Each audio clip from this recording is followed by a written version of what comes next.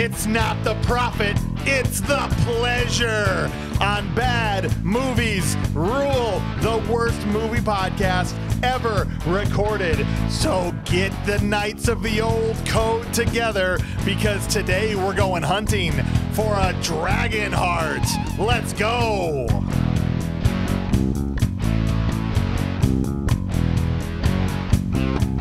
To all the Knights of the Old Code, wherever they may be. The old code is that like where you put uh, eight zero zero five? Yeah, That's right. That one. 80085. Or is, on your, is it? on your Max 64. Yeah. Yeah. Isn't that our zip code? Is that the code or the? It's an code? older code, sir, but it still checks But it still out. or is that the unzip code? I love it. Well, welcome in, guys. We are here, oddly enough, talking about another dragon movie two weeks after the last We've dragon had a lot of dragon movies. I'm, this is me two dragon movies in a row. Welcome back to Dragon Movies Rule. You didn't even get a. br- You, I got to do one in between. You're going straight Yeah, from I'm going dragon movie straight to to dragon, dragon to dragon. Oh, This I'm one, sorry, man. This one has an actual dragon. It does. This is true. Two, This is not two a- actual dragons. That's right. Not a snake dragon. But we've yet to see two dragons fight each other. That still hasn't happened. That has not happened. No, but what are you going to do? Clint Bush is in the house, the dirt farmer. Farmed all the dirt last week, right? Uh, we did every single bit of it. And Farmed now? again. Nothing's growing. Complete waste of time. Still nothing. Still nothing. Man. He's just going to run some cars on it. We're and just wait, gonna wait for the race some next one. cars and wait All for the next cycle. Yeah. All right, brother. fertilize it a little bit. We, yeah, you, it made dragon dragon poop. if you on the out of boundaries grew corn and they had to drive in between the corn, I was stuff. thinking even grass. Or you know, sure, So like something. a grass something. infield would be yeah, cool. Yeah. lay some sod. Yeah, no. Speaking of laying sod, Mel Vandy, the shoe salesman, is here. What's up, buddy? Yeah, I, you, you, no one loves laying sod more than you. Absolutely. Uh, it's a second to Dragons. He he cut out a whole strip in his floor of his shoe shop and laid sod so that customers could feel what it felt like to walk on the grass and on a floor. yeah. Well, if you don't, if you don't remember, Yeah. I brought you World Series Wrigley Field sod. I remember that, and which I promptly gave to my aunt Sue, who is a massive Cubs fan, and she planted it in her yard. So part of that is now part of her yard forever. Mine as well. Perfect.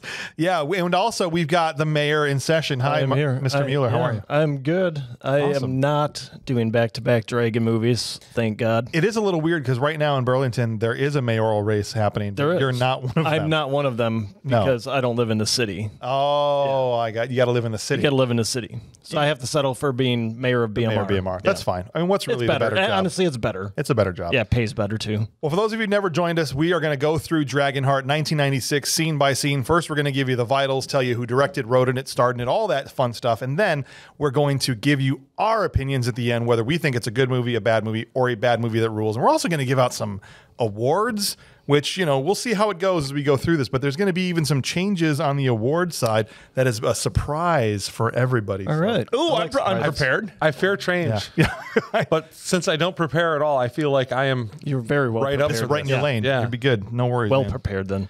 Well, what do you guys say we just dive straight into the vitals then of this thing? We've got a movie directed by Rob Cohen. Not one of the Cohen brothers, one of those great excellent. Well, he might have a brother. but he, I mean, not the Cohen brothers. Oh, you no, know, a different Cohen brother. directing duo that made like Raising Arizona and True Grit and uh, just tons and tons of classic films. Uh, uh, Big Lebowski. Ah, yeah. You know, good stuff.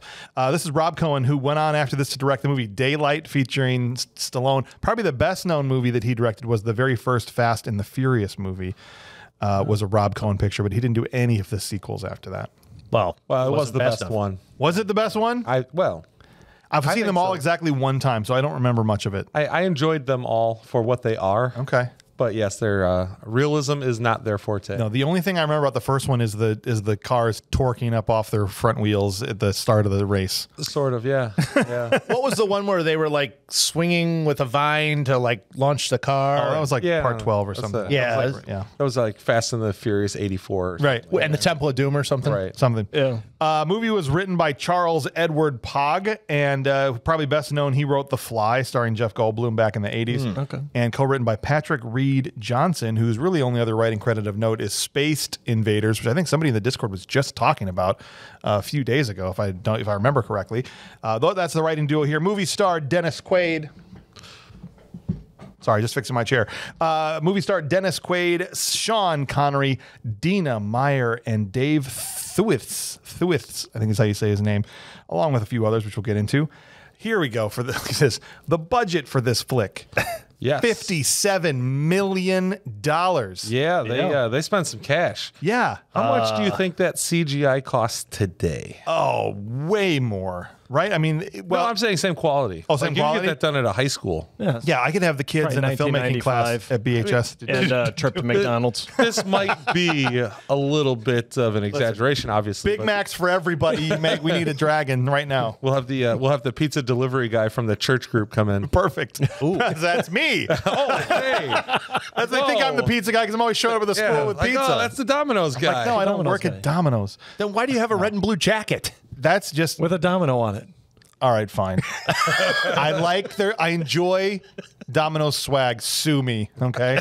I mean, Only employees can wear Domino's stuff. corporate swag is big now. He's got the Domino's I mean, hot bag. That's right. Yeah, that's right. I just because I like keeping Well, my he, food he wants to get his pizza home. I mean, it is. you don't eat cold pizza. Fifty-seven million dollar budget. Box office was hundred and fifteen million dollars. That, that'll work, but barely. barely. Yeah, Yeah. but you know, fine.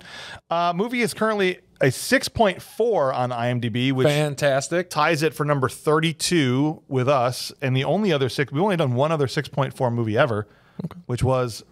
Right on the wall up there, Remo Williams, The Adventure Oh. Begins, was our only other 6.4. And uh, here's where it qualifies for us 60% audience score and a 50% Rotten Tomatoes. So it's kind of split Yeah. across the board, but it is rotten by critics. Are we going to reflect that here? I don't know. No. I mean, we'll see. Maybe. We've got four hmm. people here. I reflect that here. Well, you reflect it internally. Yes. All right. Perfect. Struggle's real. You know, a house divided against itself cannot stand. So you're going to have to plant your flag at some point, whether Oh, you I'll- think it's good. I'll plant the flag. All right, perfect. Well, for those of you who would like a way to get in touch with the show, there's all kinds of ways that you can do that. We'll do mailbag segments where we'll answer your questions. So, what I want you guys to do is send us an email, please. If you haven't yet before, we love hearing from new emailers. Not that we don't love the guys that send us stuff all the time and the gals that do, but you know, let's let's get some let's get some new blood in the in the mailbox.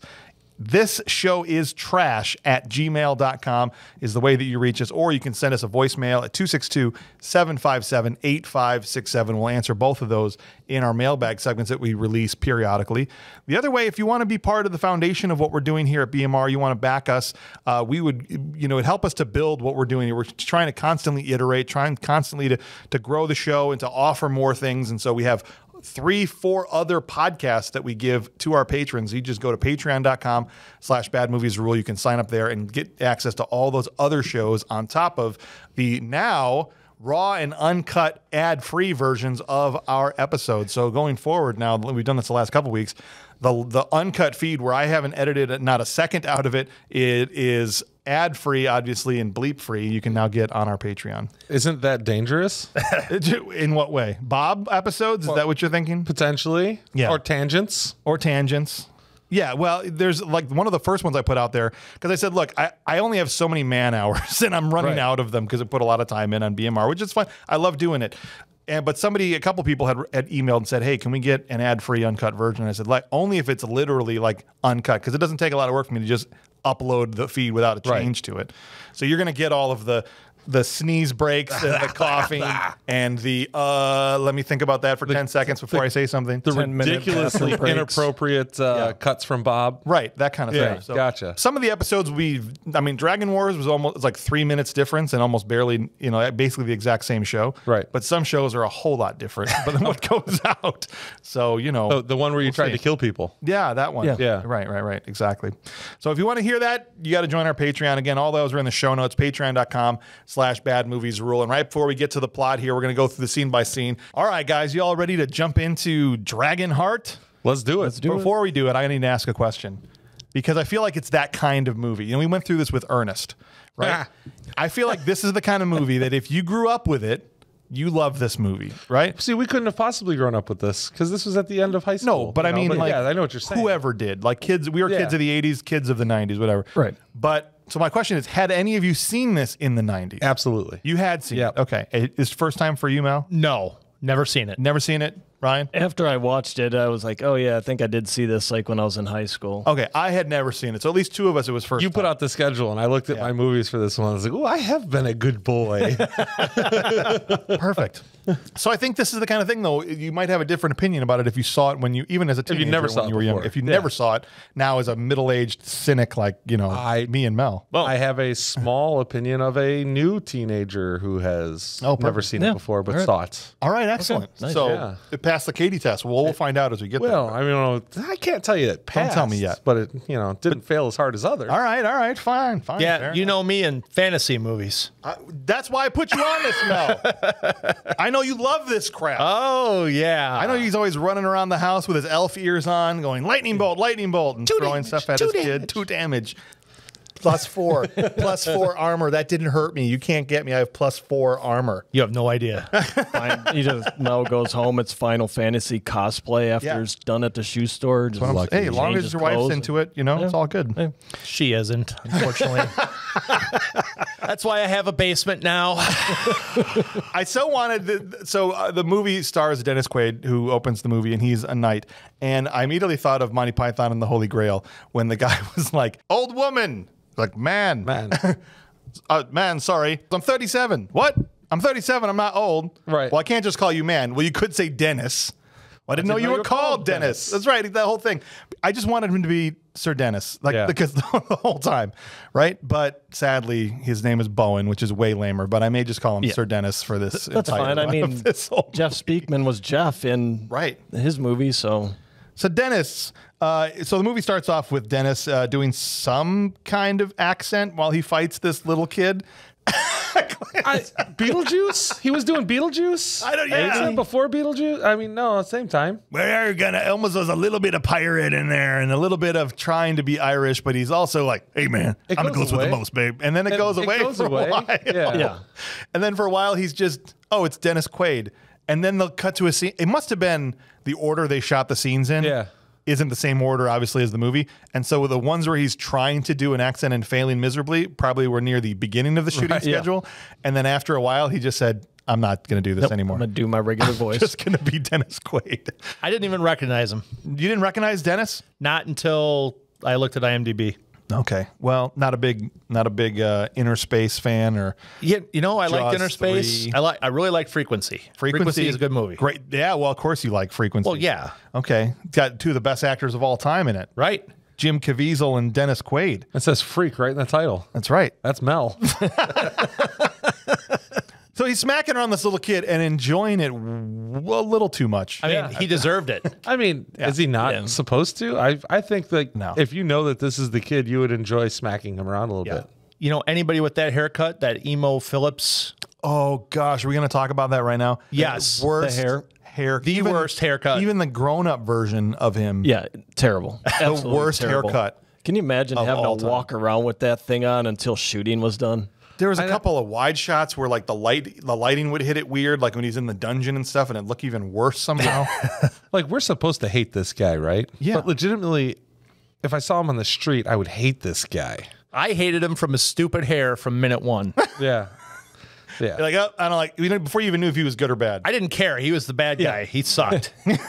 He's getting smacked around by Dennis Quaid until Brian Thompson, who played uh, very famously the villain in Cobra, right? That was sh- carving his knife so intensely, and he also was one of the uh, German guys in Three Amigos. This is his third time now on BMR. Brian Thompson playing Brok rides up on his horse, and he's like, "Hey, the king wants his son to see him rape and pillage some peasants in a village, so." Yeah. Pack him up. He's got to get out of here and go do that right now. And the kid's like, "Sweet, yeah, Let's go. Bloodlust. Go, All right. bloodlust. Yeah.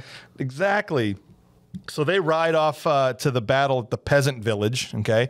And the son is super into it, right? He's watching, he's like, oh man, this is look at him. I would love to see you down there. Yeah. right. You would be the greatest. You would be the greatest. Your your sword would be amazing. That's right. I don't think he's talking about like, steel. You know what I mean? Why are you so like, into this kid? And Bowen's like, there's a there's a difference between bravery and butchery. I think, is, Yeah. you know what he says. And Yeah.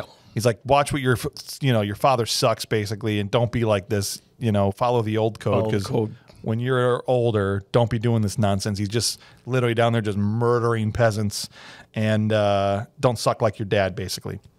Now, all of a sudden, the king is just suddenly riding through the village by himself. Yeah, because that would happen. Everyone's He's the, disappeared. totally he's the guy with the torch lighting the thatched roofs on fire, right? Like, no, Yeah, He rides that's around not what because the he's going to come down off the hillside to do that. It's like He's going to have the oh. peasants torch their own town. He's Right. lucky Trogdor didn't take him out. Trogdor. The Burninator. Burninator. All right, I'm missing the reference. Who? Burninating the peasants. Right, but what's it from? Strong bad. Oh, Strong strong, Bad. bad. A Homestar Oh, okay. Runner. Gotcha. That's that's an old cut, dude. That's an old cut. Antioch, He's just- Illinois. Antioch. He's just rolling around. He's looking around like, oh, there's no one here, even though there was just a battle here five seconds ago. Guess I'll just light these huts on fire. He's like casually burning down people's homes. And then all of a sudden, surprise attack out of all the hay. Here come the A thousand peasants pour out. Yeah. Where are all the king's dudes? It's it's all it's 200 v one in the middle of this village. Right. That's what happens when you get cocky. Yeah. Okay, but where are all the other guys? Because there was a ba- the way this is cut is stupid. They were there's a outside the battle, walls of the little peasant village. and then there there's nothing happening. They started riding back because they killed all the peasants. yeah, they were thought. quelling an uprising, is what it was. Right. It wasn't just a, a battle against peasants. They were trying to revolt. I thought it was No, just like these down. This is how we entertain ourselves on the weekend. Did they did they move on from the pillaging to the raping? Not yet. Well, at least not Well, that they they're showed Maybe that's why they were movie. tied up. Because I think it was a P, it was a PG or PG thirteen. they, tied, they tied themselves up to get ready for the raping. That's, that's what they did. They just tied themselves up. yeah. And uh, Einon sees his dad in trouble, so he's like, "Oh, I gotta ride in to save him." And Bowen is unable to stop Einon, and Einon's a kid at this point, and he rides in to try and save his dad. But by the time he gets there, dad has been killed. Yeah, they yank dad off his horse and stomp a mud hole in him. Yeah. I love like how in Mad Max Thun- or uh, uh, Road Warrior they rolled the bus in front to like Yeah. stop you from getting in and out. They did the same thing with same a thing. cart, with a horse and cart. with cart. a horse, horse and and cart. cart. It's Like, Yeah. no, you ah. can't get in. Sorry. Come on, man. Like, oh, Foiled again. Oh, horse and cart. Damn it. all the peasants then run off to continue fighting, and this little girl comes out of one of the huts, trips, falls into Einon, who has just like wrenched the crown away from his father. His father is dying. These people run away from the dying king. Yeah. Einon goes over there, sees that his father is sitting there, and there's the crown. He goes and grabs the crown. Father, like, oh, I'm not dead yet. I'm not quite dead. You'll be you'll be stone dead in a minute. You know, he's like, give it to me, it's mine. I might get better. Steals the crown from him. Just like absolutely steals you think he's going to be like, from him. "Oh, father, I'm going to miss you," and they're going to have partners. No, he he's wanted just want his the turn. He's like, "Give me that shit." He wanted his turn for the raping and pillaging. Yeah. Like literally. Yeah. I'll show these peasants. And so as soon as he's wrenched the crown away, this little girl comes out of a hut, falls over, mm, lands on top of Einon, who is f- then thrown forward into a like a stake sticking out and gets impaled on it. OSHA would have been Perfect. Really pissed off at whoever designed this post. it With was a- heart half level? a knife sticking out at heart Right. level. Heart level, yeah. Uh, somebody Who just knows, walked by and was smacked it and probably said, "This is fine." OSHA was already there. They already fined him. They hadn't cha- got it changed out yet. Right? They had sixty days. Yeah, but 60 days. You can guarantee they had an eye wash station. I guarantee you they did. Uh, the girl, as he, he turns around and he looks at her, he's like, "Oh, what the frick?" She takes off her helmet and she's a ginge, and he's just like, "Oh, a ginger freaking killed me." He's like so disappointed. ah. I had a soul. You'll never understand. they wheel the dying body of this boy basically into the queen, right at the back of the castle, and the queen shoos everyone away. Am I the only one that clapped? Did you? Oh, absolutely. You're like, all right, who's gonna? Well, I guess we need him to survive because we need to have a bad guy. yeah, unfortunately. unfortunately. So the queen's like, "All right, everybody, get out of here." And the the only people in there are her and, and Sir Dennis. And he's like, "What are we gonna do?" She's like, "It's cool. I know some dragons, know some cool magic and crap." Yeah, she's looking at her little dragon tchotchkes on the shelf. Yeah. Like, ah, I got an idea. And he's like, "Hold on a second. I on. think there's some dragons in a cave around the corner. Might Yeah, be they- able to." I think that that dragon that kicked the Fraggles out of the cave down there, he probably can do something for us. It was it was a Fraggle cave for sure. totally dude. was. It was lit like it too. It was. they like they bring him into the mechanic or so they wheel him in there. And the dragon, I just want to be like, well, there's your problem right there. He's got a hole in got his a hole heart. in your got chest. stabbed in his Right. heart. That's not going to work. That's going to be 500 for labor, but you know, I'll be able to fix this in 15 Yeah, minutes. with free towing. you tow it in and then yeah, right. Exactly. Oh, mechanics, am I right? Uh, yeah, no, absolutely. I mean, just think of the healthcare system back then. Yeah. Oh, this was the healthcare system. You bring him to a magical animal or he dies. Yeah. That's the healthcare system. Do you mean, think they had surgeons or doctors? Yeah. They would like spit in the people's wounds to get the blood away for like, oh, hold on, clean this off. I mean, they have leeches and, Throw, you know, yeah, throw a few leeches potions on them, and yeah, uh, oh yeah, Potions, potions. yeah. Those helps. potions. for sure. it was uh, essential oils. You know, it's pretty much modern probably pretty medicine. much now, yeah. Uh, as they're wheeling him to the dragons, Bowen is like reciting the old code to him to try and keep him awake, right? And he's really trying to instill in him this old code, which is the code of Arthur and the Knights of the Round Table. You'll be you'll be good enough for me to smack you around in no time. That's right. They get into the dragon cave, and the dragon at first is like to the queen, he's like, "No, your husband sucks. Piss off. I'm not." Yeah, I'm except not Sean. Connery's voice, not like the way I said it. Although, cool. Can I tell it quick? Actually, I'll, I'll save it for the post show. I got this re- line reminds Husband shucks. this reminds me of a, of a friend of mine met Sean Connery and had a similar interaction with him. But he said, yes. He goes, uh, "Your husband sucks. Piss off." And she's like, "No, no, no, no." Queen's like, "No, this, no. Look, I swear he's gonna be cool. Bowen has Bowen has totally taught him how to not be a, a d bag like my husband. Right. And so it's all it's all legit. You know, No cap. gonna- no, no cap. You know." He's gonna. He's told him. He's he's teached him how to be. He's teached him. He's teached Teach him. them. Teach them. He's teached him so hard how to be a knight of the old code. It's like it's like an Obi Wan situation. You know what I mean? Like Yeah. Obi Wan's trained Anakin, so he's no way he's going to be evil. He absolutely can't be. He absolutely can't be. He is going to be 100% gooder. Right? So you're saying Star Wars ripped off Dragonheart? Uh, no. I'm- Well, I guess in a way. Maybe. Yes, in a way. In 1996. Wait, no. Well, because the, the prequels came out after. Prequels came out but, after. Yeah. Well, this is Right, based on a true written story. first. But Lucas wrote that in the 70s. I know. You know all that goes. Sure, right. Uh, so the dragon, Sean Connery dragon, goes, All right, fine. Gives Einon half of his own heart, which now it's just dawning on me why the movie's called Dragon Heart. Oh my god. oh my god. So he didn't say anything, but he did the thing, He did the thing. right? He did the Even though thing. they didn't say it. Didn't say Like, oh, anything. it's a Guys. dragon heart. Oh my Dragon god. Heart, you guys. Come on. Everybody got that? All right. So basically, this is how Einon survives. And, and the dragon makes him swear that he'll be gooder than he was before. His words, not yours. That's right. Because Bowen's the one swearing. He's like, No, "She the has- mom. she has to swear it. I can't do Connery, but you know, suck it, Trebek. That's all I can say. Uh, the rapist Anyway. for 800, please. take the rapist for 800. That's therapists. Let me see the tits now.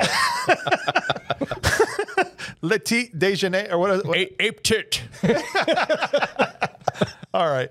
Uh, me a immediately, dragon heart all for so 400. He swears, I'm going to be good. Gets his heart fixed. Immediately, as they're wheeling him out, he's like, Hey, Brok, you think we could enslave a bunch of people to build this castle back Yeah. up? to what? Like, he's, he's just getting wheeled out. Yeah, uh, immaculate uh, recovery here. Yeah. I mean, like done. amazing, Instantaneous. straight into douchery. I want a dragon heart. If I ever It's need a like- heart, I'm find a dragon. He drifted away years later. They're wheeling his ass 500 more out years. of the cave. Okay. Yeah, And he's already like, oh man, can't bel- we need to rebuild this castle here. like Ferris Bueller. He's like, they bought it, you know. Yeah, like, yeah. As soon as it got out of the Got my crown. It's gonna get my castle. So they're putting people to work, okay, and immediately to build this. And one of the peasants is locked in this like stock thing, but it's like a mobile stocks, you know. And Einon, who's still a kid at this point, orders S- Brok to burn his eyeballs out. yeah, Yeah. Okay. Completely reasonable. And Bowen has to ride in and save him, masterfully. right? Yes. He's got a. He, he, he, is, he rides in and he's like. And and tackles Einon and Einon's like how how dare you? He's like don't make me kill you. Well, and you can tell at this point they've already not been uh, uh, they've been estranged Yeah. for some time already at this point because this isn't immediate. This is obviously you know we're rebuilding this. It's going on. Right. It's a few years later. He's older, but like okay, so he's been estranged from the king. Right. The king's bodyguard protection detail is around him, all of his people, and then Right. he's able to just you know knock him off his horse and you know, Right. beat him around, throw him to the ground, and you know say the old code. Damn it! That's right.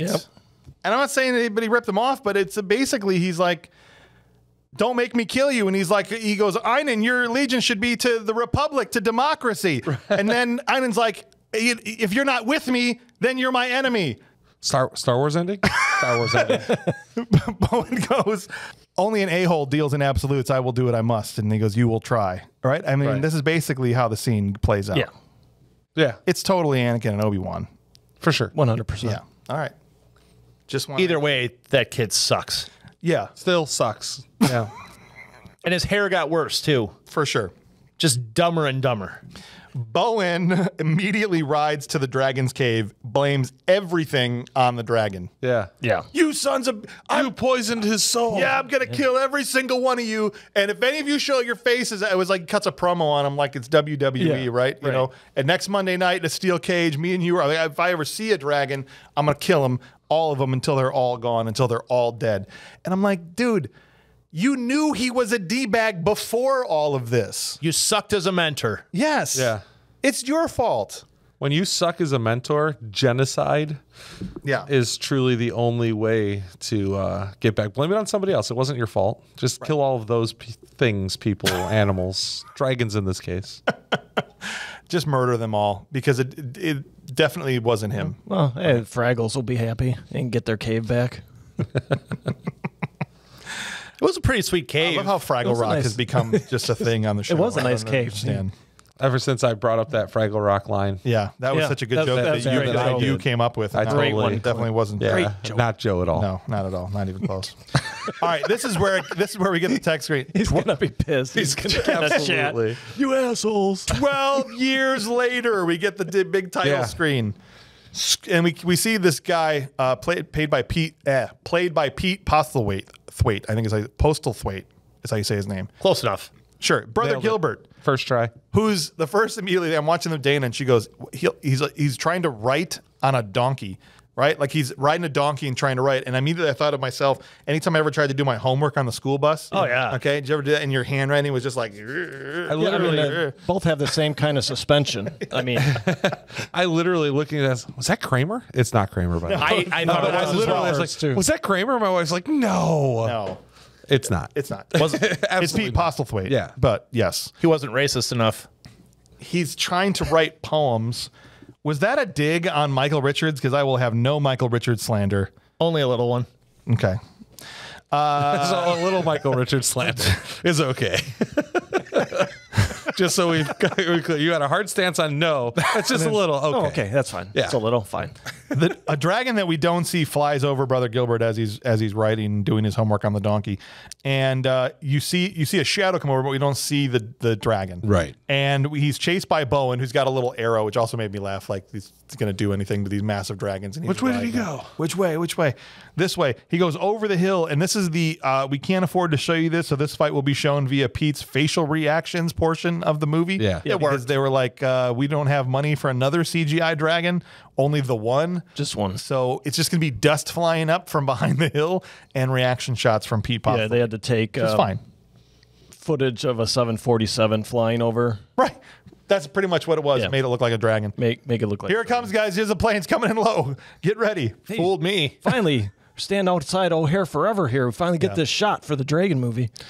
Uh, after the dragon is defeated, and Sir Gilbert is just a gat. Like I can't, he can't believe this guy just slayed a dragon. He's like, "Oh my gosh, you're the greatest person, the coolest thing I ever saw." Coolest, it's the dopest crap I ever saw in my life." Jason Isaacs rides up, and this is our first Jason Isaacs movie where he's playing a legit part because he was in Resident Evil. He was uh, like the dude in the hazmat thing at the end, the doctor, and he was that cameo at the beginning of Elektra where Elektra kills him while Oh, he's yeah, sitting yeah. in the chair with the Yep. gun and the whiskey or whatever. And so this is a full blown part for him. Uh, I'll always remember him as the bad guy from The Patriot. He was just a scumbag in that movie, and he's kind of a.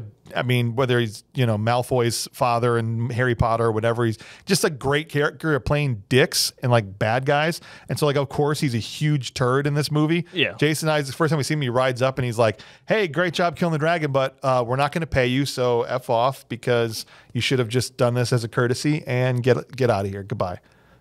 He's the guy who looked like Lieutenant Dan with the mustache, right? Yeah, he's, Okay. he's the dude that is the came up with the idea for a road tax. Yeah. you know, right, Right. after the scene after he heard the talk. Roads are still free, aren't they? Yeah. Or did he tax those too? Right, and then he immediately Road goes tax? to Ein and he's like, "How about a road?" What a great idea. And Illinois is like, F yeah. Let's do more of that.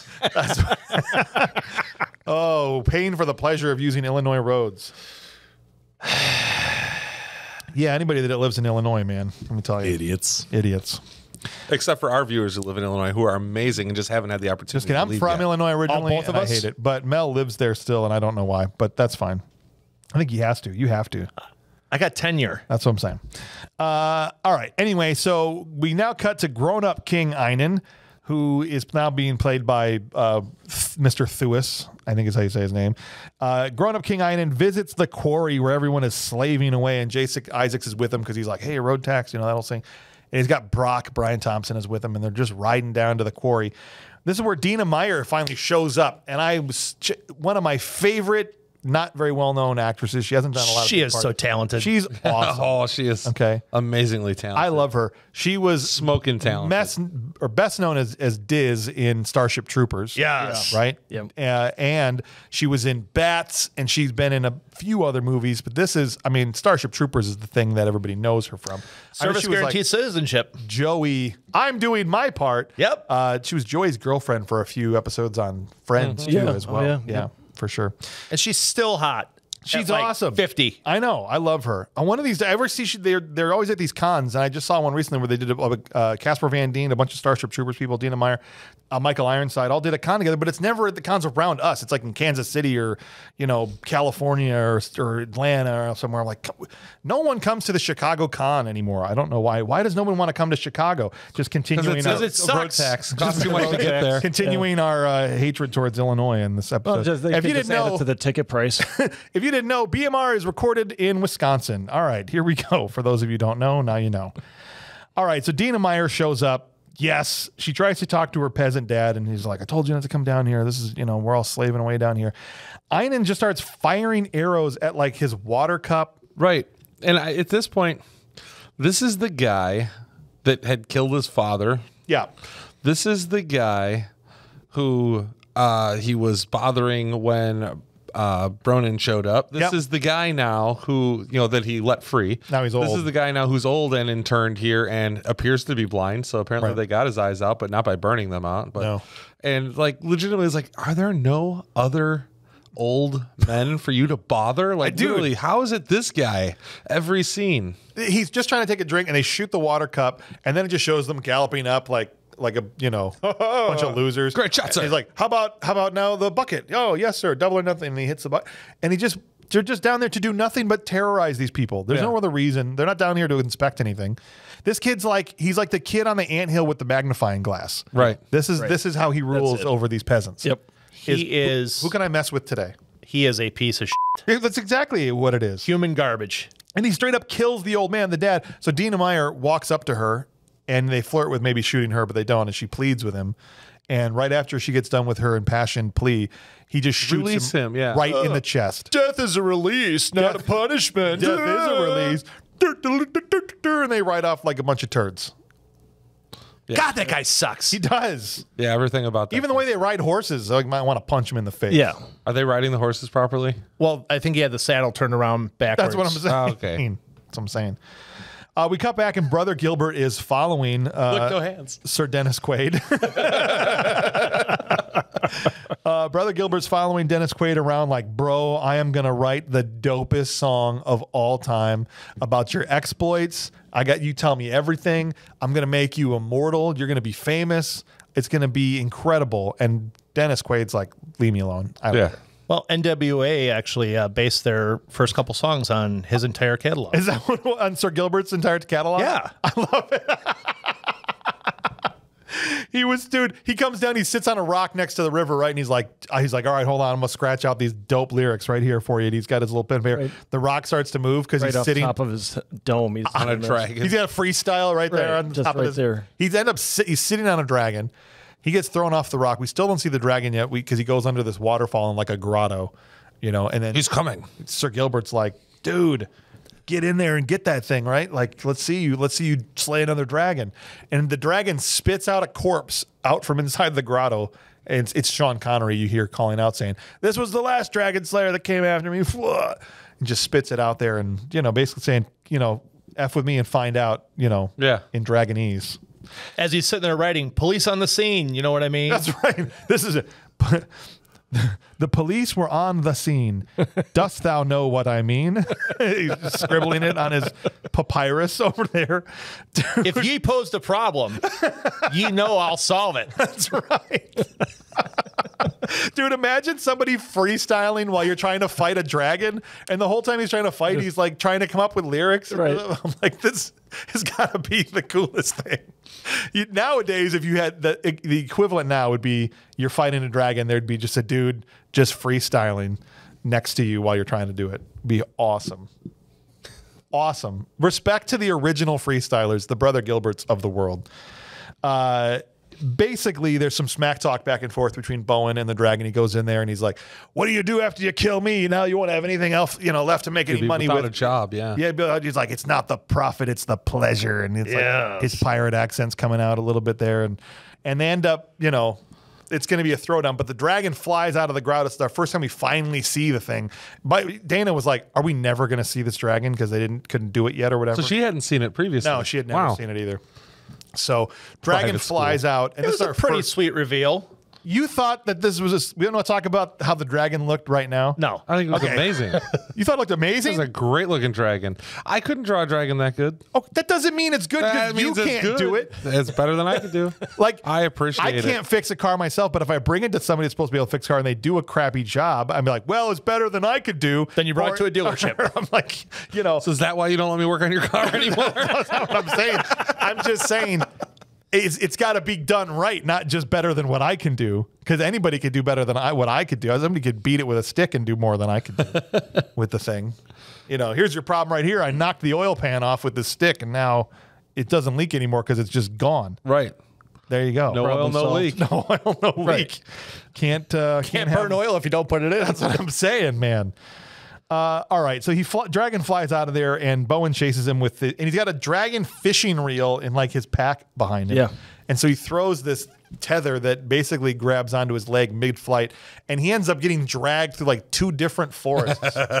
okay, he leaves the horse behind. He's hanging on this rope like like the guy at the end of Delta Force Two. Yep. Yeah. and he's just getting swung through the trees, and he nails a couple of trees, and he's fine. It's Yeah. hilarious though. Becca was totally like, shouldn't he be concussed? I mean, or oh, it's This broken was before spine. or concussion protocol. Oh, he's fine. oh, okay, he's fine. Yeah. Yeah, get back in the game. Yeah. You're fine. Concussions weren't invented yet. Now you gotta walk it off. Back then, you run your bell, you just yeah, rub you- some dirt on it and get back in there. Just keep flying through forests. that's, that's it, exactly. Because they, they need him out there. There's nobody else that can defeat a dragon. Right. That You was put the backup in. Yeah, that was the medical Yeah, you don't care wanna the system. backup in. That's right. When you got hurt, they drug you through a forest with a dragon. Exactly. Eventually, he's able to take the saddle that it's connected to, uh, put it between two trees as he's falling off, and this brings the dragon down. It traps the dragon. Yes. So now they're both on the ground. Gilbert is chasing them down on his donkey, and this donkey has got to be like, "What the hell are you doing?" Like, 'cause there's a freaking dragon right here. Right. All I could think about was this poor donkey, and get that donkey out of there before the dragon eats him. Was anybody else worried about the donkey? Well, I thought they were going to make little baby donkey dragons.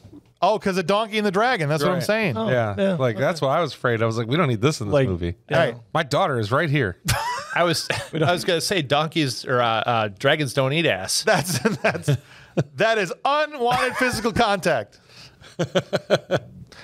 All right, so they're starting to fight now. They're in this little clearing and uh, they're fighting and arguing. And the dragon says, "I am the last one." Like, this is what he says. This is it's just me, right? I am the law, and not too far off from that. And here's what I don't understand, and this happens many times throughout the movie. No one recognizes anybody. right. Right. No one knows who anyone is. Wouldn't he recognize this dragon's voice? That I mean, was my you- I would immediate think first so. thought. I'm like, Yeah. you heard this dragon speak.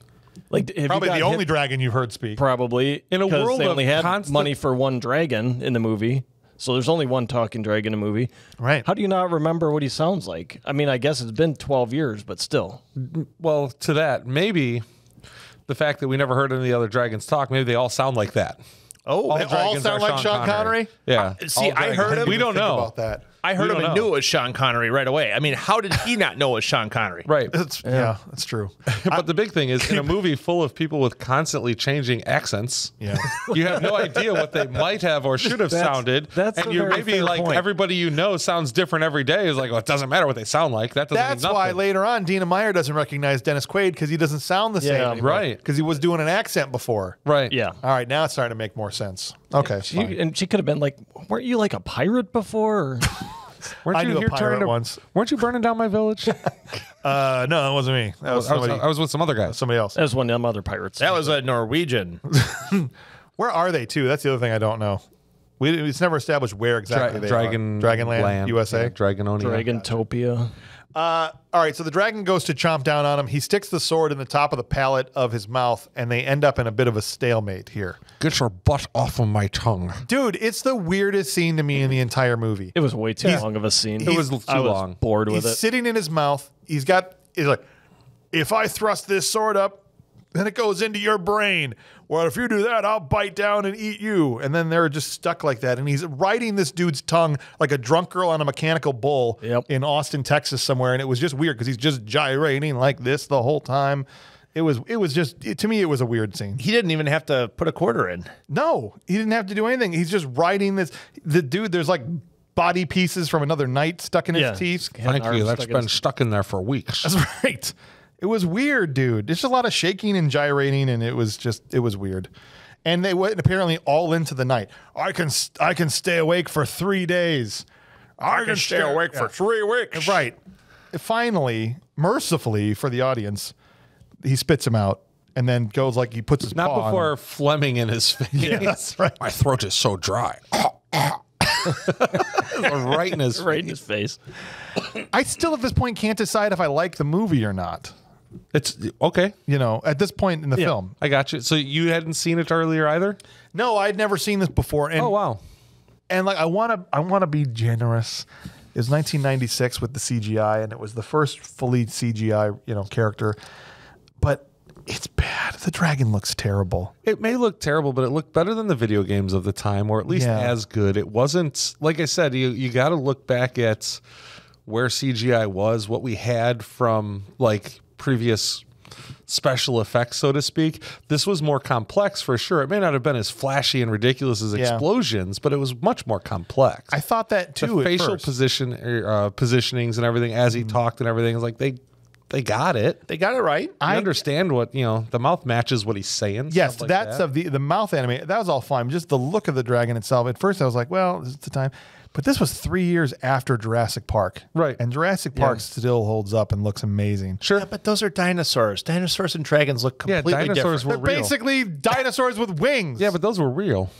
Those weren't real dinosaurs. Uh, I know it looks like th- Those this were is how real good dinosaurs. it looked that way, but those were special effects, Clinton. Oh, Do you not know the history about the fly and the amber? I know Did you not? See, it's a mosquito. it was not um, a documentary. the fly was Jeff Goldblum. The mosquito was. in the Oh, amber. right. Right. I get those mixed up. No, it's fine. It was not a documentary. That was. I know it looks like they really cloned dinosaurs for the movie. I thought that was a real place. like we could go.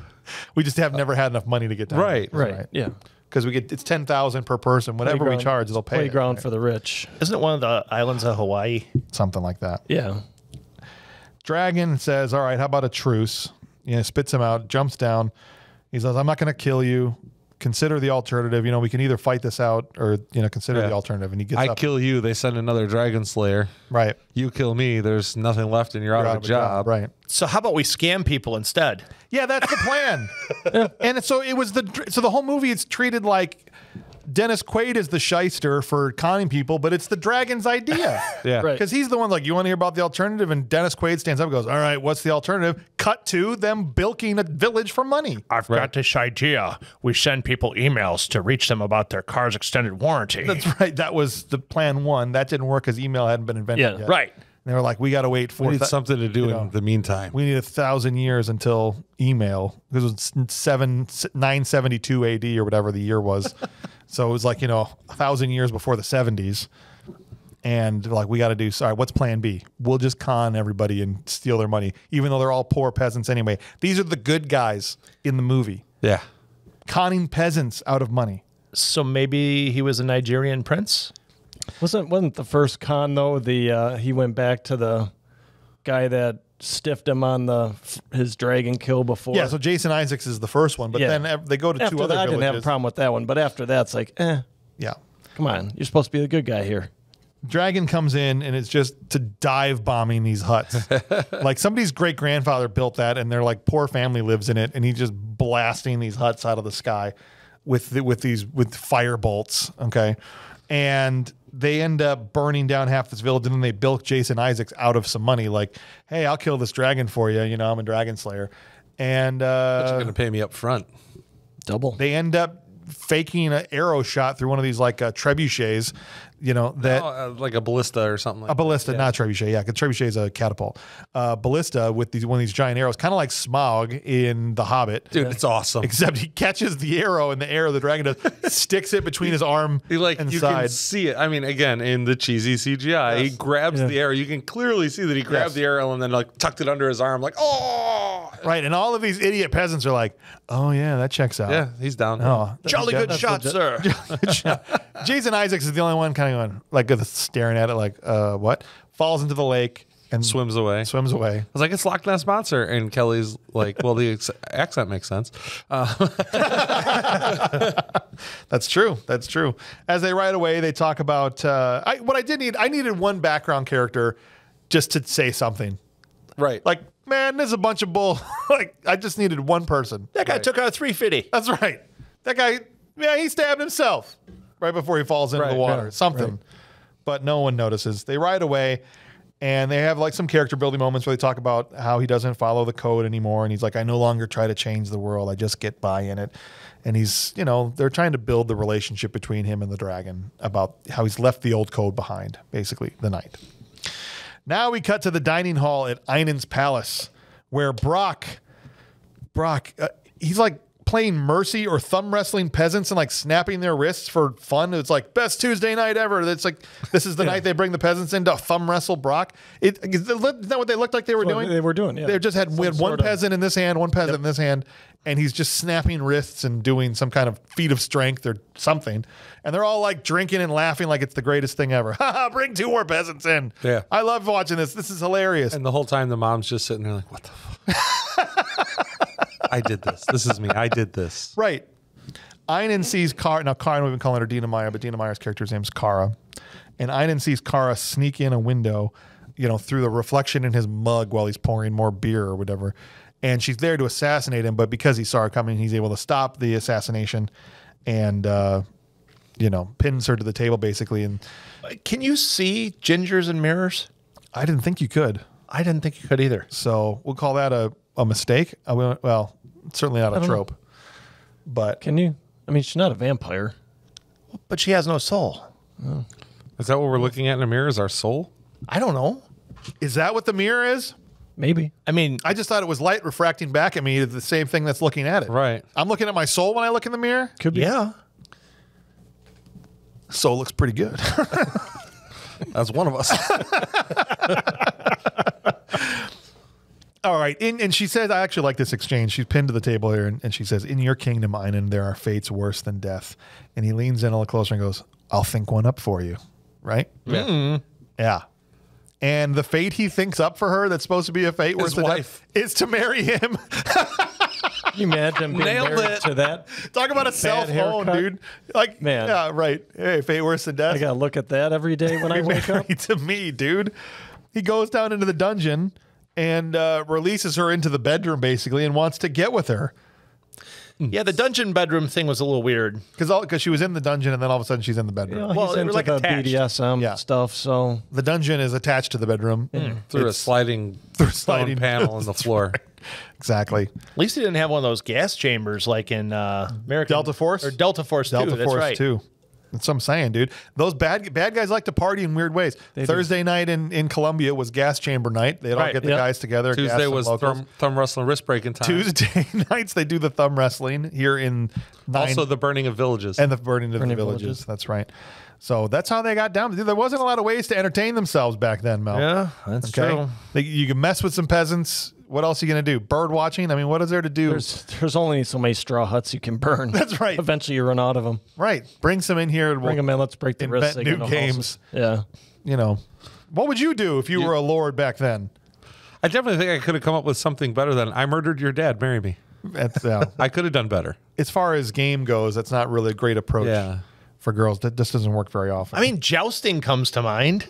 Yeah, but even that's like they have that tournaments like once every few months or something. Yeah, I I, guess. always think when I watch these movies how bored I would be all the time. Like, what do they do? Sit around and talk to each other? Play on an NES. They didn't have NESs back They, then. they built Oh, I'm sure they did. They built castles. That's what they It takes passed. Oh, 12 years. These were Atari days, right? Yep, they did. They had the the uh, 96? Coleco, Coleco Vision. They Coleco. Vision. Right. This is 96. Yep. They definitely had NES. It's 972. 972 was the Coleco era. Yeah, it was the Coleco era in the 70s. So is that pre Pong? No, Pong was like the first one that came out. Oh, okay. Yeah. Uh, she stabs him, which also makes the dragon fall from the sky, like wherever they're at. And he still wants to get with her. He's like, I'll give you everything. Come on, two gingers together. We would rule the entire dang universe, man. I, I see this. She stabs him, and the dragon falls, and I'm thinking like the Corsican brothers. What's it, Cheech and Chong? Oh, yeah, uh, yeah. movie where you know, the one hurts the other. Yes. so they're stabbing, fighting each other by stabbing themselves and stuff. Yeah, Dude, I haven't seen that in so long. I don't remember that. Oh, I thought you were looked like you No, were no, say no. something. Sorry. Uh, so, bef- but the queen comes in and breaks her out of prison, basically out of the bedroom before anything can actually happen, and so she sneaks Dina Meyer's character out of there, and she takes off. it says something. I can't uh, allow you to uh, what follow the same fate as I I did, or yeah. something like Right. that. So like Something he's like like, did the father kill her, or did the, Ooh, her yeah. husband kill her father? This is where he. It's This like, is where the king learned the moves Hey. from the dad, right? He's like, "Hey, dad, you know, he back when he was nine. How did you get how do mom? I? How do I get girls? Ah, interesting story. This is how it worked for me. yeah. So you just find a girl you think is really hot. kill her dad, Pester her dad for years, Right. and then murder him in front of her. It's the Yes. long game. You got to play the long game. Wait till she tries to assassinate. Don't just kill him right away because that won't work. Now the trick Yeah, is to have the dungeon attached to the bedroom. This is the key, with a sliding stone panel. And then you're in like Flint. Yeah. That's right. Unless the mom comes and lets your bride to be out. If that happens, then you just got to find another peasant. Yeah. Yeah, do what you got to do. Uh, all right. Meanwhile, the dragon and Bowen have been broing out, bonding for a little while, and this is where Bowen decides to name him Draco, which is just dragon in, In, another language. in another language. Don't call me dragon. That's right. So you just decided to call me dragon in another language. Cool. All I right, like that's it. fine. Uh, Kara goes home and tries to rally the peasants for another revolt, and I'm like, is this the only village under Einon? Is this it?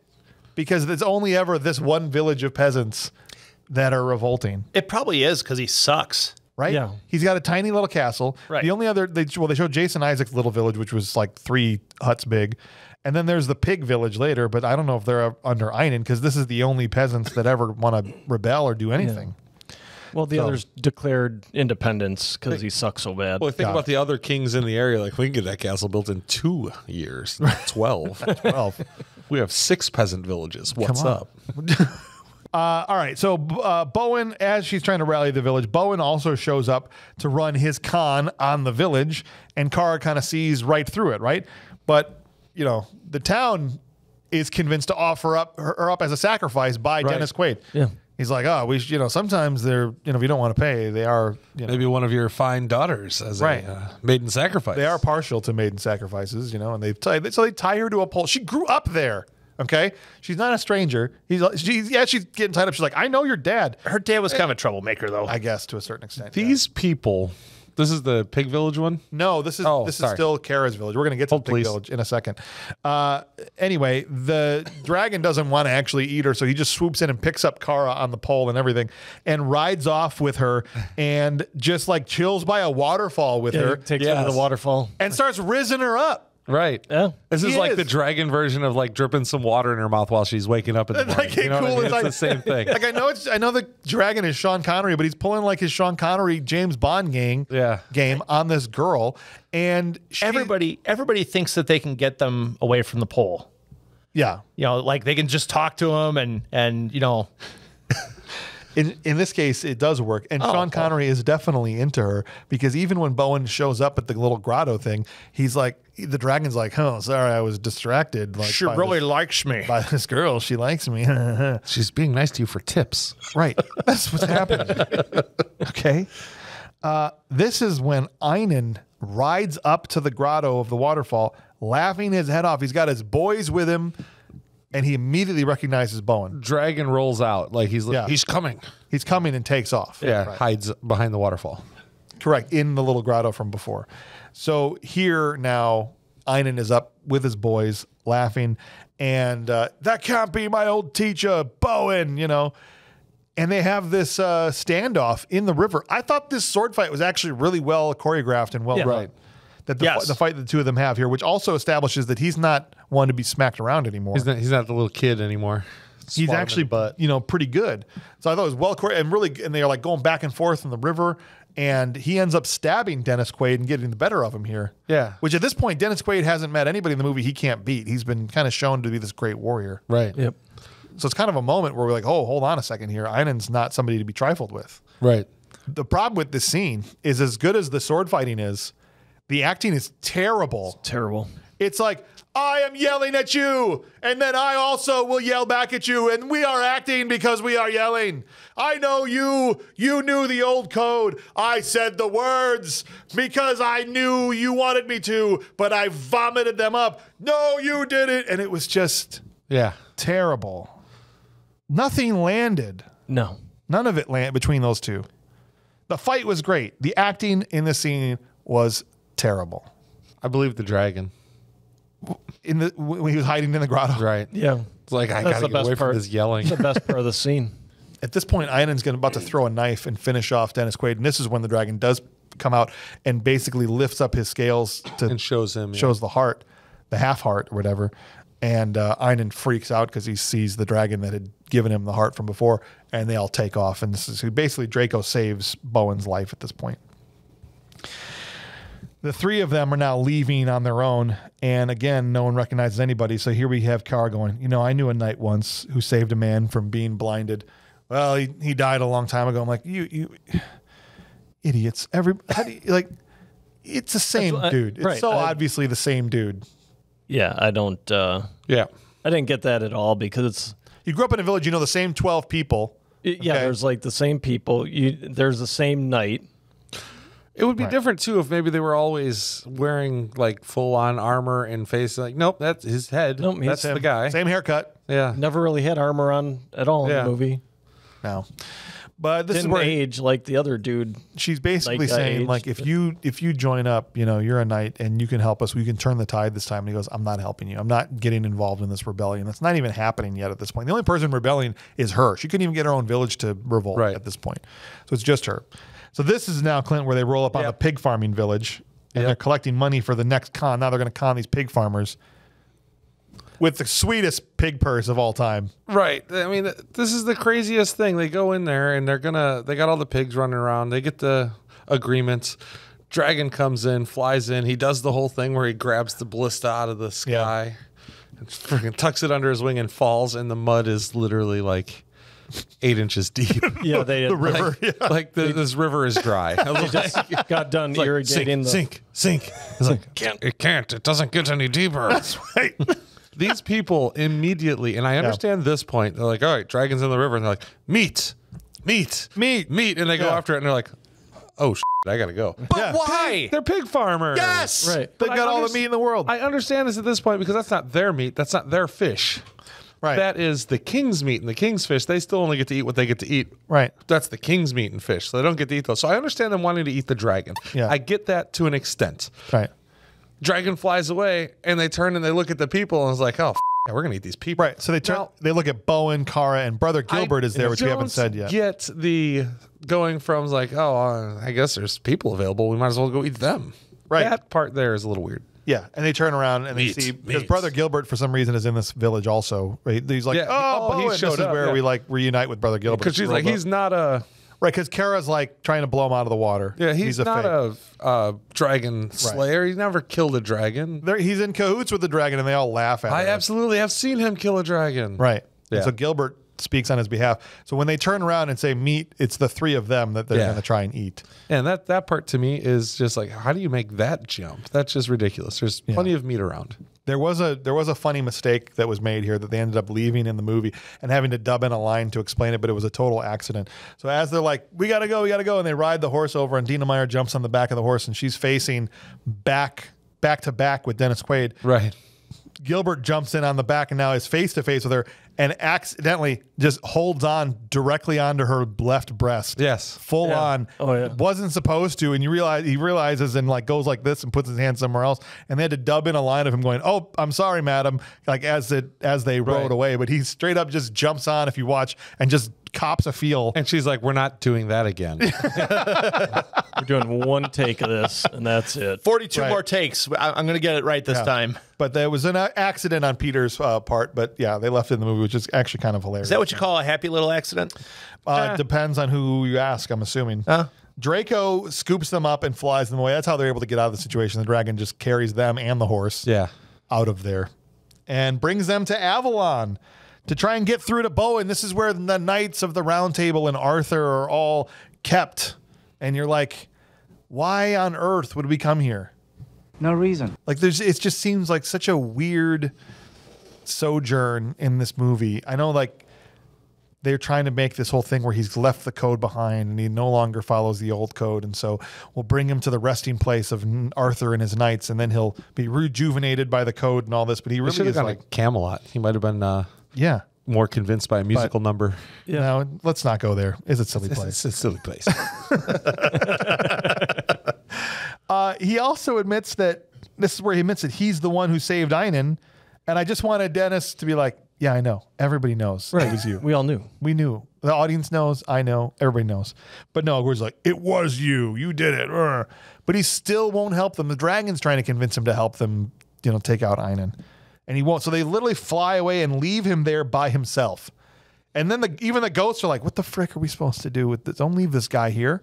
yeah. And so they just start reciting the old code, like the ghosts of Arthur and his knights. uh, they're popping out the columns and everything. They're like, else. stop being an a hole. Like, uh, you know, go back with your friends, please. remember the c- code. Remember the code. exactly. Uh, and the next, uh, the next, the next moment encapsulates, I think, my problem with the whole film. Not that it's necessarily even a bad film. This Here is, we go. This is why I don't think it works.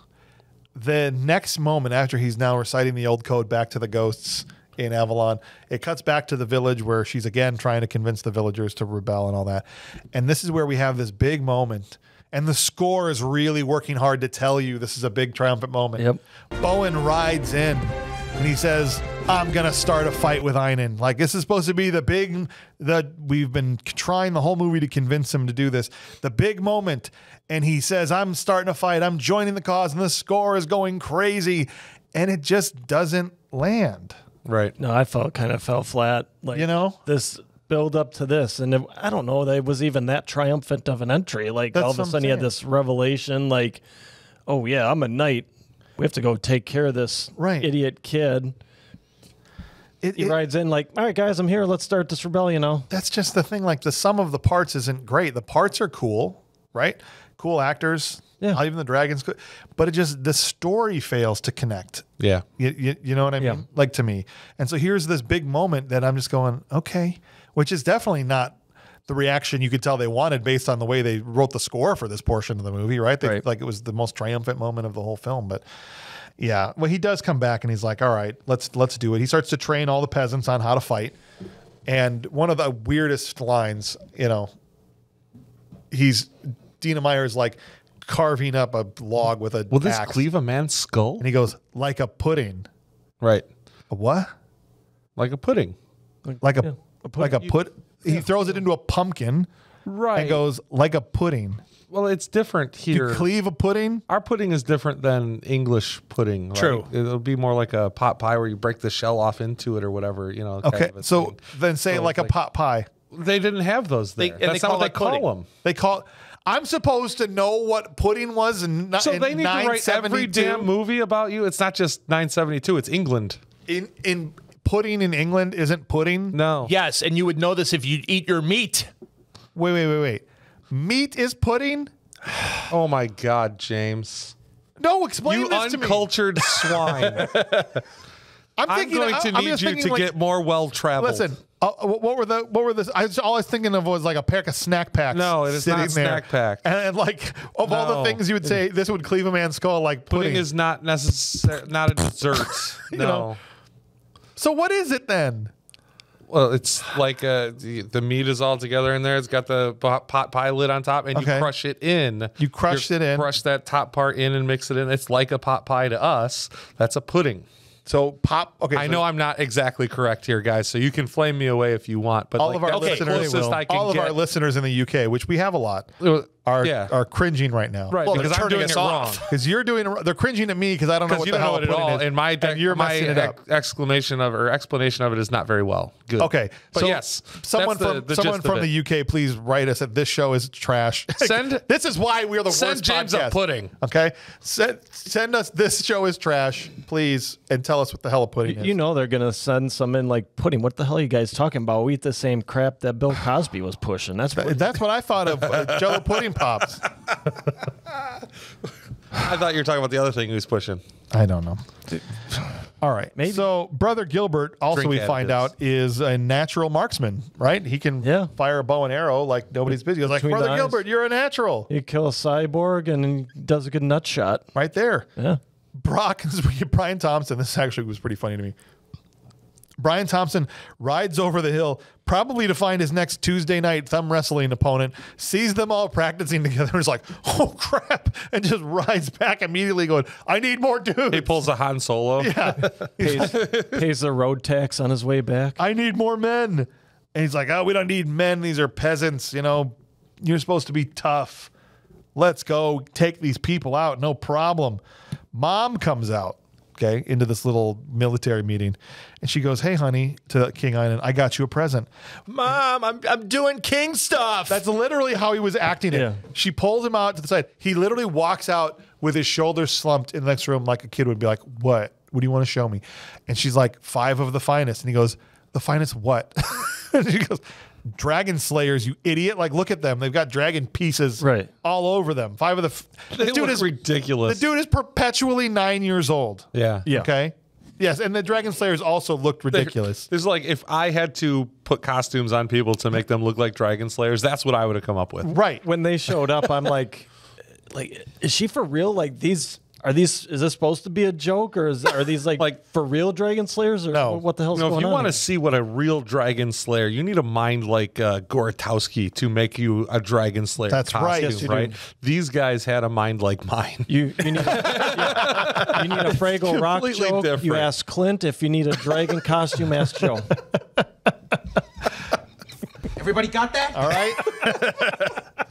so let's do the final battle, guys. Uh, we get one village, one village full of peasants versus Einon's tiny army. Yeah, well, he didn't have any more friends. tiny. Ar- there's like 35 guys. Yeah, well, the in rest of the Einon. only a villages hundred- declared There was uh, only 100 independent, people so- in the village. Right. So, like, you have to take the, the 10% of the best and turn them into your army. That's only 10 dudes. That's what I'm saying. I, the whole thing, it's like, it's, it's clear they didn't have enough budget to have these massive amount of extras or whatever. Right. But when their army ran, like, there was a decent amount of peasants they got for the shot. And a lot, you fill the frame and the camera to make make it look like there's a ton of people. But there's about 35 dudes in the bad guy's whole squad. Yeah. Did they not pay him so they were method actors? And I'm like, how did how, how did they not overthrow this guy immediately if all he's got is 35 guys? Yeah. Yeah. They were afraid of his hair that he just wasn't right. That's that's probably what it was. like, You see that, yeah, man? I don't want to get up close and look at that. No, we're gonna just This guy's crazy. It starts off. Draco flies over and fire bombs the the, the ramparts right where the Yeah. archers are, and immediately the first dragon slayer ends up shooting himself with an arrow and dies immediately. Yeah. yes. and I'm like, five finest in the world. This guy killed himself. cell phone. them. And I just wanted him to look at his mother, and he'd just be like, well, "He was the fifth best out of Yeah. out of the five, obviously." I mean, they're not all very good, but they are the five best. Right, that was clearly the fifth best out of them. it's a budding industry. Are, are they the five best after Sir Dennis? Right, because then the next guy throw like tr- uh, tries to throw the the fires the three hooked spears at him, which he catches and yanks that guy off the thing, Yep. and he dies. He yanked the guy off? yeah, right off. Like, yanked him right off. he just yanked him right off with the stick, like, yanked his stick, like, grabbed onto it and just, and just yanked yes, him off. Yeah. And the guy went flying afterwards. All right. And I'm like, okay, that was that was got to be the fourth and fifth best. Then out of like the, the top three dragon slayers Yeah. have to be left, right? They ride out to meet the rabble who retreat into the forest, And then they start once Einon's guys are in the forest, they start a fire behind them, Yeah, so they can't retreat back and reinforce their line with more people than they thought they had, and now Einon's guys are trapped. It's like some Robin Hood and his Merry Men Yeah, they, they pulled up the angled stakes so that the, the, the knights can't just ride through them, which Right. is, you know, Yep. that's great. So now the archers are protected behind a wall. But what was funny, they had these big long spears that they were holding. Yeah. What was funny is once the peasants then charged into the ranks of the bad guys, they're coming in with these long spears, and the knights on the horses start sword fighting and hitting the tops, of, tops the of the spears, spears. instead of just killing the guy that's standing down there holding them at the bottom. It was hilarious. Yeah. He's like, "Oh no!" and they're all like looking upwards at these sticks. Well, I think they were probably better at medieval battle in medieval times. Yes. Yeah, these guys have forgotten a couple of things. we have to hit them at the top of the stick, We have to chop the stick down. and then once we get to the person, then we can kill Yeah. them. Yeah, you have to. Yeah, you have to get the stick. Right. And if one to of the knights level. had just killed the guy immediately, they were like, hey, hey, hey, hold on a second. He killed this guy before chopping his stick down. You can't do What's that. the point of the stick? You That's the whole point. I got this whole stick. You got to start at the top. start at the top and then get the guy. You know, this entire battle was kind of disappointing because I did not have a giant turkey leg. No, that's the only way that That's this is- the only way to only make way to that. enjoy a battle. You gotta Half- have that. half for a medieval dragon. Battle. Got it. Mel would just be sitting on a horse eating a giant chicken Yeah. leg or turkey leg. Turkey leg, leg. yes. While all this is going on, he wouldn't be worried about the guys with the giant chalice sticks. of ale. chalice of ale. Oh my gosh. Brother Gilbert is up in a tree. You know, they got the snipers up there, and he hesitates at first, but then starts like sniping log traps, like Ewok style, that come down and take dudes out, and shoots one. He's shooting dudes in their butts. Turn the other cheek. That's the other right. cheek. That was good. they mixed in a couple of good. That was a good like, joke. There was a few at the beginning. They were like, "Oh, that's the humor they're going to put in here." They Yeah. got better. Yeah. You know, There are a few good lines, but yeah, it's the same way. I'm like, just doesn't fit. You got Kara dual wielding axes, and Dina Meyer is like a a pudding. hundred percent believable. Dual. You know, sometimes they cast these people. Yeah, and you're like, I don't believe this person killing Well, soldiers or dual wielding axes or She anything. was legit. But she totally buys it. Because she's got red hair, you know she's nuts. Absolutely unhinged. But she is probably unhinged. Yes, okay, I'll give you that just to the fact that she's a ginger. But besides that, I thought she sells the crap out of it, and I totally believed her just taking out knights Yes. with her dual axes. 100%. Yes, she's fantastic in everything she does. I wish we would have gotten way more Dina Meyer in way more things than we actually ended up with. So shout out to Diz and uh, and Dina, and I just wish we'd gotten more. That's all I want to say. Drop us an email. Yeah, Dina Meyer. You know we all know you listen to Bad Movies Rule. Hit You're- us up. You're awesome. Email us. Definitely haven't been crushing on you since I saw Starship Troopers. At all. all right.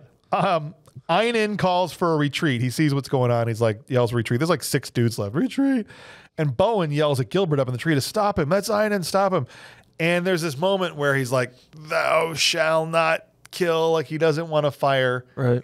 but he does let it go and he nails him directly in the heart. Yeah. And this is the moment we realize that Einon is immortal. Right. Because the it's direct hit, bro. Yeah. And he pulls the whole thing out of his heart. dragon falls out of the sky. dragon who who ends up landing in the castle. Right. And he just pulls it out and goes, Huh, how about that? How do you like them apples? But but he saw him fall out of the sky. He realizes that and everything. He's like, the dragon slayers. Can't kill that. Right, Can't right. kill the So he's got to run back. Like he Before the retreats dragon through slayers the can kill flames, them. back on the horse. now, if he knew the dragon slayers were worthless, he wouldn't have been worried. Right, but they were the three Yeah. best. He, he could have dragon gotten off the horse and led his horse by foot into the thing, and he would have been fine Probably. because they were not going to kill that dragon. Right? No. Those people were the most inept, worthless. At this point, they're guarding the dragon because they chained the dragon down, and the mother comes out in the dark and just kills one in about one second. One of the Right. dragon Yeah. slayers just knifes it. No, we're down. It's not a mother slayer. That was probably the third Definitely best. not a lady Yeah, killer. a Just the third best dragon slayer. third. That was the third best. Probably had to have been. So now we at least have the top two dragon slayers left. Top two. Well, top two and Sir Dennis, who's And Sir probably like on in a tier of his own. well, he's in the uh, NFL uh, for yeah, Dragon these, these are just the NCAA Dragon Jesus Slayers. The, the XFL. These are your XFL Dragon Slayers.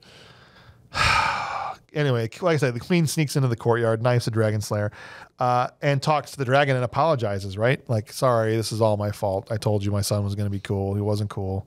Sorry about this whole thing. LOL.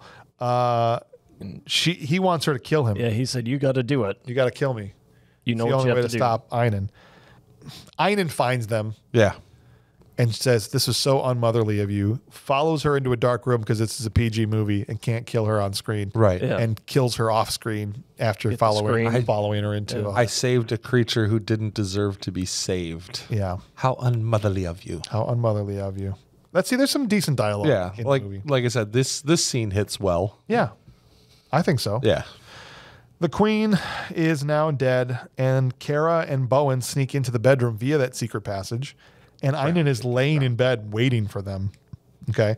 And he's like, Well, this is the end of the movie, so it's time for us to have our sword fight. And this is the big fight between him and Yeah. Bowen, which is a good fight. They end up down the secret passage, fighting all the way up the tower, up the stairs, on top of the tower. I thought the fight, again, wh- whoever their fight choreography was, my problem with this movie had nothing to do with the fight choreography. No, There was some good sequences. I thought the good the, the the sword fight between them was fantastic and well done.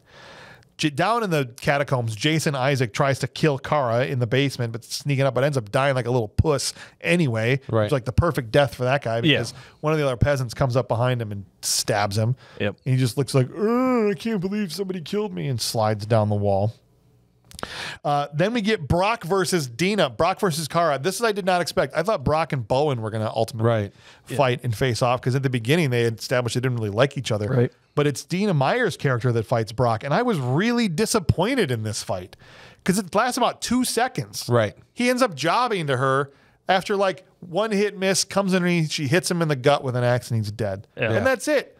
Brok they built up as like this big tough, you know, right hand man to the king, and he goes down in two seconds to to Dina a Meyer's. It would have been a Well, good he- opportunity for like that secondary fight that's going on during the sequence. And yeah, I mean, it was two swings and Yeah, I- a I- battle axe to the gut, and that was it. I buy that she could have killed him. I just don't buy she could have killed him that easily. Right. I'm just wondering if you know that just plays to the he would have been the type that would have completely written off the possibility of being killed by a girl Right. and not taking it seriously on his That, end that's of the the, combat. only way you can sell it, right? Yeah. Because I think this would have been a great opportunity to cut back and forth between two huge fights. yeah, absolutely. Um, make it more intense, make it a little more bloody. Some lightsabers. Some, you know, if you need to. I mean, we already got the Anakin Obi Wan thing going Yeah. on up the tower right now.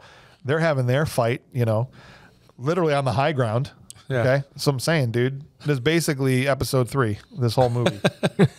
okay. Uh, on the tower, b- eventually Bowen kind of swings out of the way and Einon falls all the way off the tower and through the dang floor at the bottom. You're like, Right. oh, you know he did, right? Ish. And sort of. Go down, talk to the dragon Draco's and the girl. Like, Draco's like, he lives, you know, like, kill me. He's He's coming. yelling at Bowen, like almost saying in a very mean way, I'm going to kill you if you don't kill, like, like Yeah. strike, you know? Yeah. Intense, intense scene. But Bowen literally throws the axe on the ground. Well, before he does that, he kills another dragon slayer with a basket. Again, these guys suck, dude. He's literally he slides, he comes down the, the tower because he doesn't want to fall like Einon did Yeah. on a rope. Oh, yeah, he's got and the there's a counterweight. basket coming down. The counterweight's coming down, and he fights with him for a second until the basket just kills the guy. Ah, Wicker. Like a Dragon Slayer, but a wicker basket takes him out. Yeah. That was the second best Dragon The Slayer. second best one. Gone. Now gone. Yeah, probably second best one. I don't know what happened. I don't we ever see what happened to the first best. No, he probably ran after the other four got. He was like, "Oh man, I got baskets. Let me get out." me get I've got out thing against baskets because of this show. just because of this show. Yes. Why? What happened with a basket on this show? Basket case. Oh yeah, Well, may, yeah, maybe Brotato was in there. He was the counterweight. It was hard to find work. it is kind of hard to find. but now work there's only one before- Dragon Slayer around for the whole rest of. I mean, that dude's gonna make bank. He is. Well, no. Well, there's no only one dragon, and Well, they there kill was- him. That's right. Yeah. Oh, He's out of work. Yeah, you're like, oh, okay, fine. Ultimately, I can't just say like this whole scene at the end with Sir Dennis and Draco was, I think, a little too overly drawn out. you think? I'm not gonna kill you. I'm not. You're my friend. Blah blah. Like, strike. yeah, I, I thought it was a little too drawn out. Yeah, they went back and forth about. Yeah, they're trying to play to the moral. You know, he I, is. I get. uh, yeah, I get that, but it's Right, but ultimately, Einon does come back up from the dead and makes a run at Bowen, who ultimately does strike Draco for the killing blow. He kills his friend to kill Einon. Didn't he kind of partially release him? Like got rid of some of the chains? yeah, Um, yeah. They so, took some so of the chains off. why didn't uh, Draco just pull the rest of his heart out? Then it's over. He could have killed him. Yeah, why can't he? Can he not Because if he killed himself and this and that and the other, that probably would have been bad. He wouldn't have gone up to the uh, to the constellation. to the I cannot self terminate. Yeah. Right? Just like T two, man. Yeah. No, I mean, Can't self saving humanity. I guess. Oh, he does kill Draco, and then Einon dies, and uh, Draco turns into Stardust and gets to go to Dragon Heaven. Yeah. And that's the end of the movie. All right, we did it. Good thing. We talked about it. That was a movie. That was our second Dragon movie in three weeks. So we are we are We're dragging car- out. carving a niche here. Remember how we did like a bunch of post-apocalyptic Yeah. movies in a row? Oh, The computer gets on these kicks, man, and just now it's going to be Dragon movies for the next two months. Supercomputer needs a new algorithm, Which means Reign of Fire is coming probably at some point. I I'm in. imagine. All right, guys. I think there's a way that we could make this movie better. Definitely, Are you sure? Sure. Yeah, absolutely. we can. How can we make this better? We could take Arnold Schwarzenegger. Oh, I would have never thought uh, of that. We could make him the voice of the dragon. We could Ooh. make him the face of the dragon too. Just eliminate the dragon entirely. It's Well, just he's, Arnold. he's still a dragon, but he just has a square jaw instead of you know the regular uh, dragon wings. face. And you'd have to make his wings Yeah. like all muscly though. But I think it'd be easy to do that. I mean, because I know everyone's like, "Oh, Sean Connery, Sean Connery." Sean Connery's pretty Yep. cool. I, he is cool, but imagine if Arnold was the dragon, dude. Right, but I, I think that Sean Connery Right? is already one of the best parts of it, so we're improving the best. There is so much low that we could improve What? that would elevate Like what? higher. I, Einon. Einon. Let's make him Einon. He can. Be, we can actually have a true villain. I know you don't ever want to put No, you Arnold al- in a you guys always want to make him the villain in these movies. Let's do it. It'll be the best bad movies ever have the greatest villains in them because you cannot understand have a fantastic protagonist without a good villain. Would you say this guy was not a good villain? I mean, I I absolutely hate hated him. the guy. I absolutely hate him, but he was a tool. Listen to me, Bowen. I do not care about your code. You could take that code and ram it up your ass because I just said it because I wanted to get it out like vomit. Okay, and now I'm going to kill you. Oh crap! A dragon! Ah! Perfect. Nailed it. Just be ridiculous, man. Nailed it. No, you can make him Bowen. You make him Sean Connery, and he's got him stuck in his mouth. Just get out of my mouth, and I'm gonna help you get down here. That'd be hilarious. That whole scene would be ten times better. Right. Thank you for hurting my teeth, pal. Be awesome, dude. Come on now. No, it'd be great. And at the end, when he's flying in, or he's like, "Listen, you have got to kill me. Kill me now. Here I am. Do it." Just like at the end of Predator, dude. Yeah. And as Aiden's running, kill me, I'm here. Do it. Kill me now. Come on, man. the spot in the river where it was shallow. Would he would he have said, "Get to the chopper"? That's right. He would have said, I cannot sink any lower. It's mud. Come on. Come on, And then, guys. and then all of a sudden the predator would be just like in the, tree, but predator couldn't see him. Yeah. because he's covered in mud. That's right. He'd be invisible. You know what? He'd be invisible to the dragon. We got the five finest dragon hunters. They're all predators. You know what? You sold me on right, it. I'm in. We'll go with your route. Arnold would make this better. I suck at everything. No. All right. We'll go or or uh, the other thing I thought of, remember in True Lies where he's thumb wrestling uh, his daughter and his Yeah. wife, and he's got that dumb look on him. Ah, you got you. Then I just thought of him as Brok doing the thumb the wrestling, thumb but wrestling, snapping yeah. arms and stuff, and he's just like ah, we- Snapping we're them, having a good time. over, you know, throwing him over his head when he's done with them. that's right. Be awesome. Yeah. Thank you. Yes, it would. Thank Nope, you. dragon. Sorry, I was imagining that going, yeah, that would be pretty cool. Uh, Sir Hitman said, My replacement would be the part of Brother Gilbert. I think it would be funny to hear him doing the poetry. yeah. Yes. Listen, I'm going to write a poem for you. You are the finest knight of all time. You are the greatest warrior I've ever seen. Uh, thou art the greatest. Uh, thine is the glory of the. Ah, crap! I cannot think of anything. Be hilarious. See, I can't do the voice, but there once was a knight from Nantucket. No. Josh Bowman said, I would love to see Arnold as every villager in the cannibal. vill- the- Oh, they call them cannibals because of the meat thing. Yeah. Yeah. Meat. Just hearing a hundred Arnold saying meat, meat, meat, meat, meat, meat over and over again, that'd be hilarious. Uh, and Mike Harding goes, Arnold is one of the Dragon Slayers. They didn't have a big part, but maybe beef up the role and throw in some classic Arnold one. Like, we can't have Arnold getting like, shooting himself with an arrow. You know, the one that got away. You can, uh, yeah, he'd be the number one. Number one, yeah. Slayer. He'd be the one he getting taken out by the any time. basket. accidentally killed six extra dragons that came through that weren't even part of the movie. I imagine they killed that other Dragon Slayer. They just cut it out of the movie. There's no way that one got away. No. Donnie Miles said that he would replace Bowen, uh, Dennis Quaid's character. When I consider Arnold for any role, all I do is pine for a third Conan type movie where our favorite Austrian gets a shot at dragon hunting. Uh, he would shine this up quite nicely. he punches the freaking He'd dragon punch the right dragon in the right in face. the Punch face. Everything. Horse. But then Brother Gilbert would be like, "No, dragon." dude, this is legit. I saw him. I literally saw him punch a dragon to Right. death. Okay, That's why there are no that's dragons. why there's no dragons left. Right? I could kill you now, and he just cocks his hand back. Right? It would have been a short film. He And then he at the end, out all the, he has to do is punch him in the heart. Punch Draco in the heart. Done. He just be Temple of Doom style, just up to his wrist, just right through. Rip it out. rips yeah. it out. Be awesome. But sadly, we didn't get that movie. We got Dennis Quaid Yeah. acting like a cardboard cutout through this entire thing. You think it would have been better with Randy Quaid? Could you imagine? That would have been amazing. You know, the comedy bits might have hit better if it was Randy Quaid. That would have been real nice, Clark. Real nice, Clark. I don't know. Uh, all right, how about we get to some awards and we'll uh, start talking about the uh, award we give out for the most intense performance in the movie, the one that we have named after the most intense actor ever, Mr. Will Patton himself. You want a war? I'll give you a war! I don't want them to gain another yard. You blitz all night!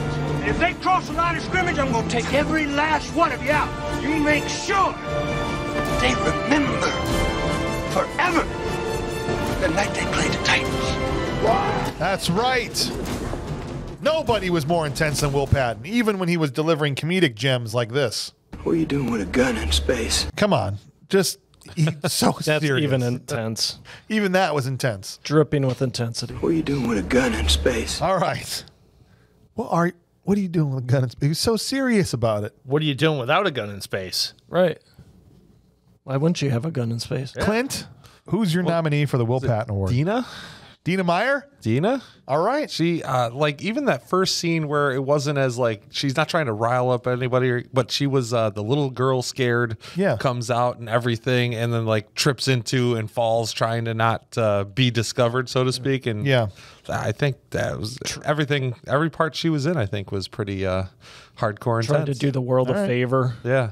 Try to convince people the whole way through. Okay. I don't I don't disagree. I mean, I thought she did a great job in the Yeah. movie. Um, Sir Hitman said, uh, "My Will Patton goes to the one and only Sir Sean Connery. Love Sean Connery in any movie he's in. So that's a vote for Dina Meyer and a vote for Sean Connery as we go over to Mr. Mel Vandy. I, I had to go with Pete Postlethwaite Okay. for Gilbert because uh, the guy was just at 11 Yeah, the whole time. whole time. And again, don't disagree. Lots of good picks in this one, I feel like. Uh, Josh said, Look, this award goes to the late, great Sean Connery for Draco, even though it was just his voice and combined with the expressive animation, it makes for one of the best dragons, if not the best dragon in cinema. Woo! Hot take there from Josh Bowman. I don't know if it's the best dragon Just ever. because you don't agree with it doesn't make it a hot take. It could just be the Uh, take. well, saying I enjoyed the performance is a take. Yeah. But saying it's the best dragon ever in cinema is a is a hot take. I would say there's been lots of dragons portrayed in cinema. Name one. Uh, how about the dragons from Game of Thrones? How about Never Pete's saw it. I was dragon? gonna say Pete's dragon. Never, never saw. How Game of about Thrones. The dragon from Dragon Tales. How about the dragon? How about the guy from Dragon Wars, the snake, the Imoogi? yeah, the no, this was Moogie? definitely better. What about Double Dragon? the luck dragon from Neverending Story? Never saw it. Falkor. Yeah. What's Falkor? Never saw Falkor? Never Ending Story. Never saw Fal. You've never saw Neverending Story, No, and you called me an uncultured swine, I know what a pudding is. but Sort you don't of. know what Falkor is. All right, so we got two votes for Sean Connery, one for Pete Postlethwaite, and one for Dina Meyer. Uh, Mueller, who you got over there, buddy? Um, I was between a couple on this one. Okay. Dina Meyer and Sean Connery. Ultimately, Give me Sean Connery. All right, Trebek. that's a third Sean Connery vote. Uh, Mike Hardy went with David Thewlis, uh, adult Einon. He was just so hateable with his stupid scarecrow haircut. Played a fantastic villain. He did look like a scarecrow. God, he sucked. He Yeah, he sucked. terrible. Uh, I also went with Dave uh, Thewlis. So that's two votes for adult Einon. I just thought the dude was he whether or not it worked i don't know but he was really going for it. And some of his pretty intimidating you know i'll think one up for you and how unmotherly of you and all that. I thought he did a really good job. So we got a we got a couple people with two votes here but we got three right now for sean connery. Uh, as we go to donnie miles who went with brian thompson as brok no one took this film more seriously than our favorite Cobra villain, and while his accent was ridiculous and he wasn't featured much, his performance conveyed passion for the role. His over the top gusto, gusto gets my vote in a movie that was really lacking in the acting department. And I I agree. I like Brian Thompson in this, but ultimately, Sean Connery is going to win the Will Patton Award. And a close a close matchup there. Votes votes are really spread out. A lot of decent choices. Yeah, but with eight votes, only getting three got the win for that one. That's how spread out it was. So pretty good. Uh, all right, the next award we give out is the is probably the most coveted and and fought over award, the one that most people want. It's the Steven Seagal Trash Can Full of Dirt Award that we give out to whoever the worst actor is in the movie. Trash can, oh trash can, it's a trash can full of dirt. Yeah. Love never dies, and neither do they. Love is eternal, and that's a long time. Dragons live forever, and that's a long time. I'm a dragon. I invented dragons. I used to have a dragon as a pet. That's right. It died. In Japan, when I was in a Keto Master, I rode a dragon to the dojo every day, but no one saw because I rose up. I woke up earlier than everybody in the whole world. Because you gotta do that to get ahead. That's right. It's the only way you can win. uh, Clint, who's your- Love may never die, but Dragon Slayers do. Uh, these guys were just garbage. I'm going to lump them all together and put them in the can. all right, That's the yeah, five that's dragon one. slayers. Um, normally, I'd say plant your flag, but I'm not going to even disagree with that one. Uh, the Hitman goes. Brian Thompson is my trash can award winner. His acting as Brok is sadly lacking any true depth of emotion. I couldn't disagree more, but you know, John, I give you that you're you're you're right to pick who you want. I like Brian Thompson.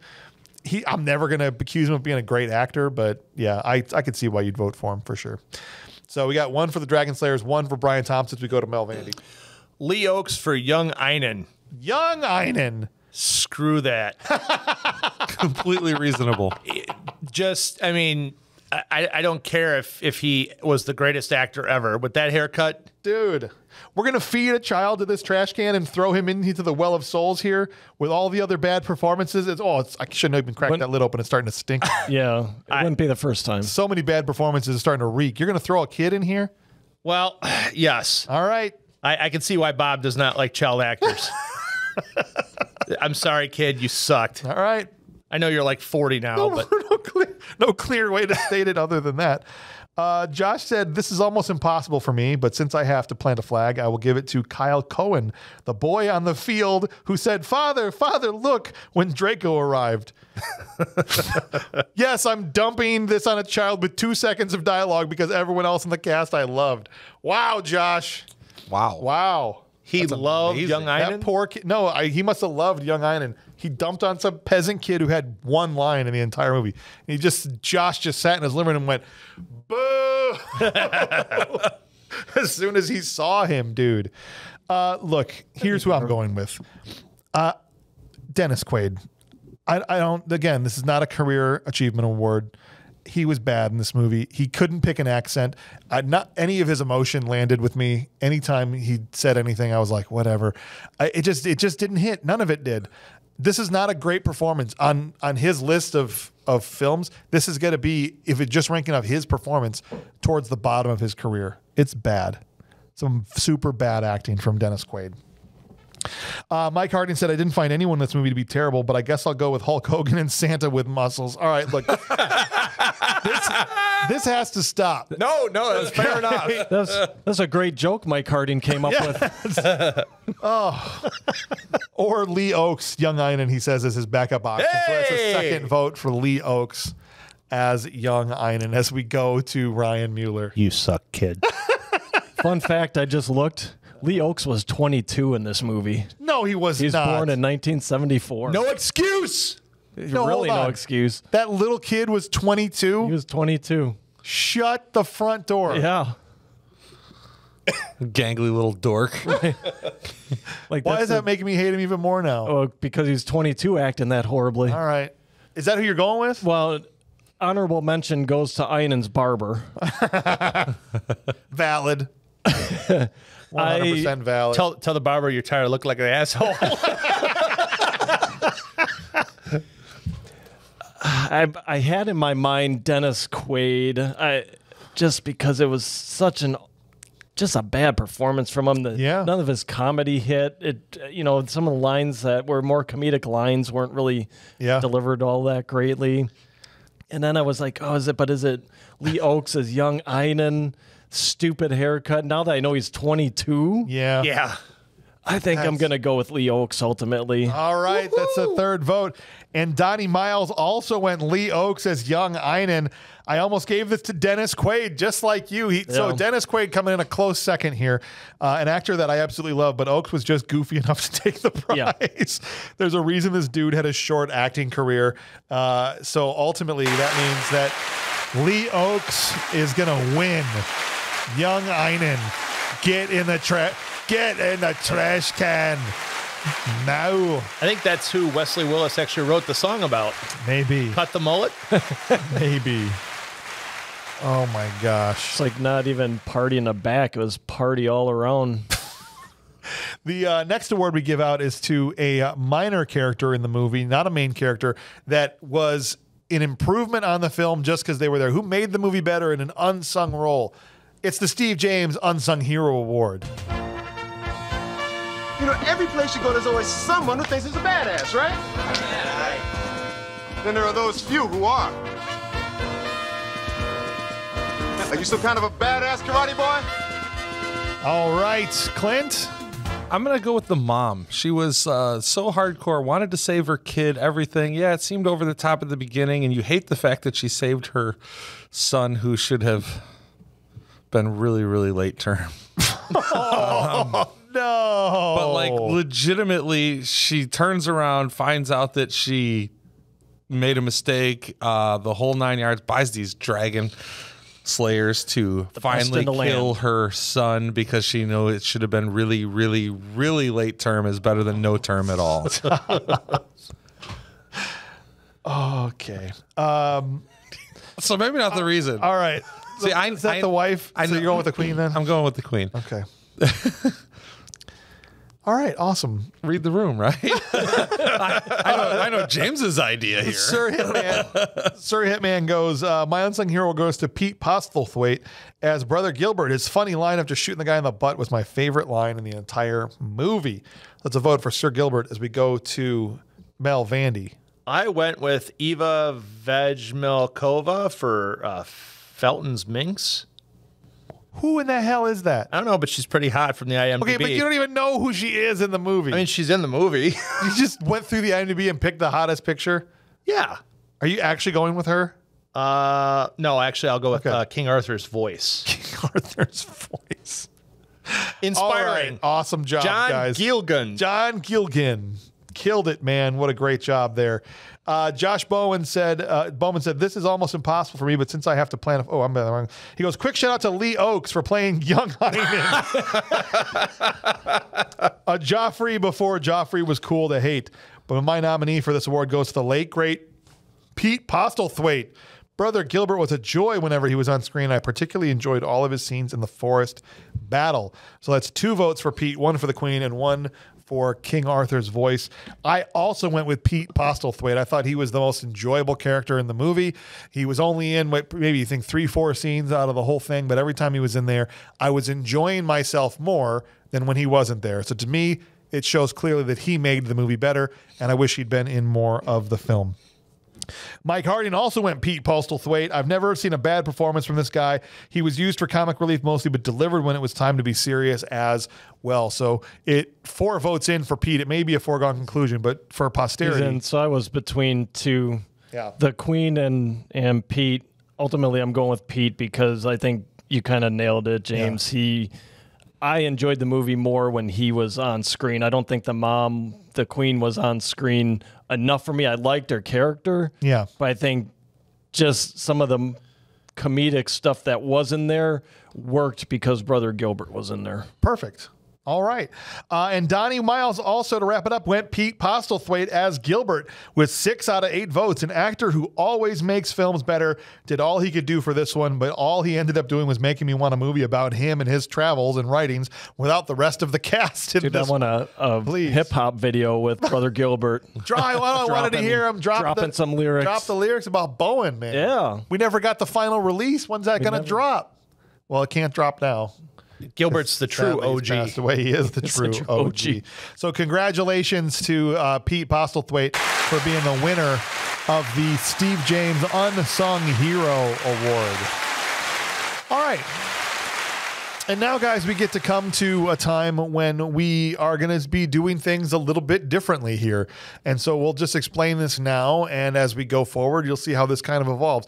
We, I, I hate personally, I have a thing about getting stagnant. I hate it. I don't like the idea of just doing the same thing forever because I think that's how you stagnate. And so I'm always looking at ways to change, to iterate, to come up with new things. To, you know, things have grown uh, organically where we've added awards and changed things kind of as it has just come about.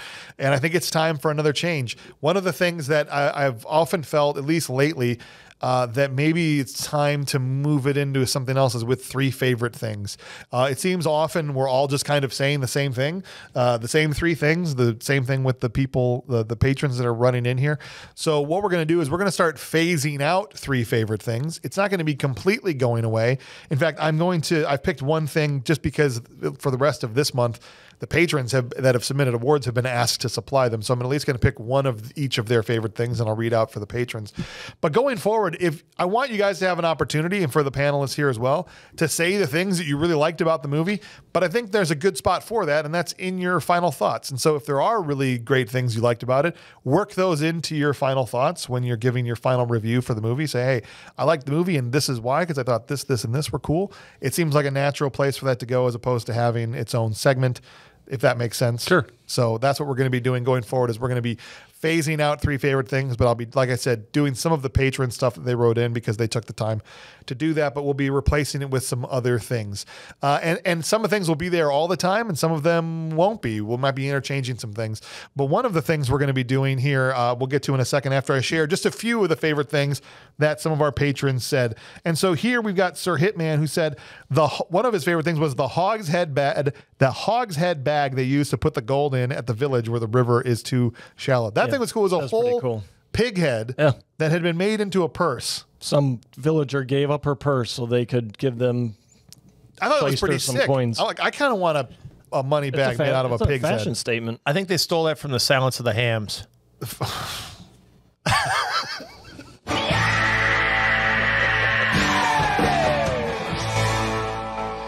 Uh, you about size 14? I want a fanny pack made out of a pig's head. That would be go. awesome. Wouldn't that be a pig's ass? No, a oh. fanny pack, Yeah, exactly. not a pig, not an ass pack. A fa- uh, Dude, sometimes I don't even know with you where the stuff comes from. Honestly, A fanny pack? yes. Fanny is British. But if you for don't wear one on your ass, you wear a fanny pack on the front. Nope. No. You wear a fanny pack on your ass. That's Yes, why they call it what they call it. Have you ever seen It's not just a someone clever wearing name. a fanny pack strapped across their butt? Not if they don't want the stolen out of it. That's what I'm saying. So these two are acting like I'm an idiot for saying wears you don't wear everything fanny packs on the backwards. backside. And I got that's why looking they call over it you what they thinking I'm call it. taking crazy pills. Crisscross will make you jump, jump. Because you're wearing You your don't clothes wear back. fanny packs on your backside. That's why they call them what they call them.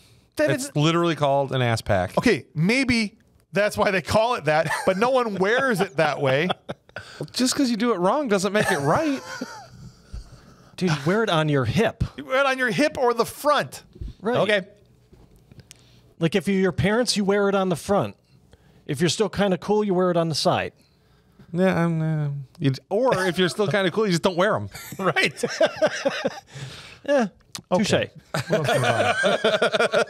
One of Josh Bellman's favorite things is I really love the score in this movie. It didn't try to be overly intense and knew where to be lighthearted and knew when to have a moving swells for the more emotional scenes. Yeah, the score wasn't bad. It was just was trying to do all of the work because the script and the actors weren't.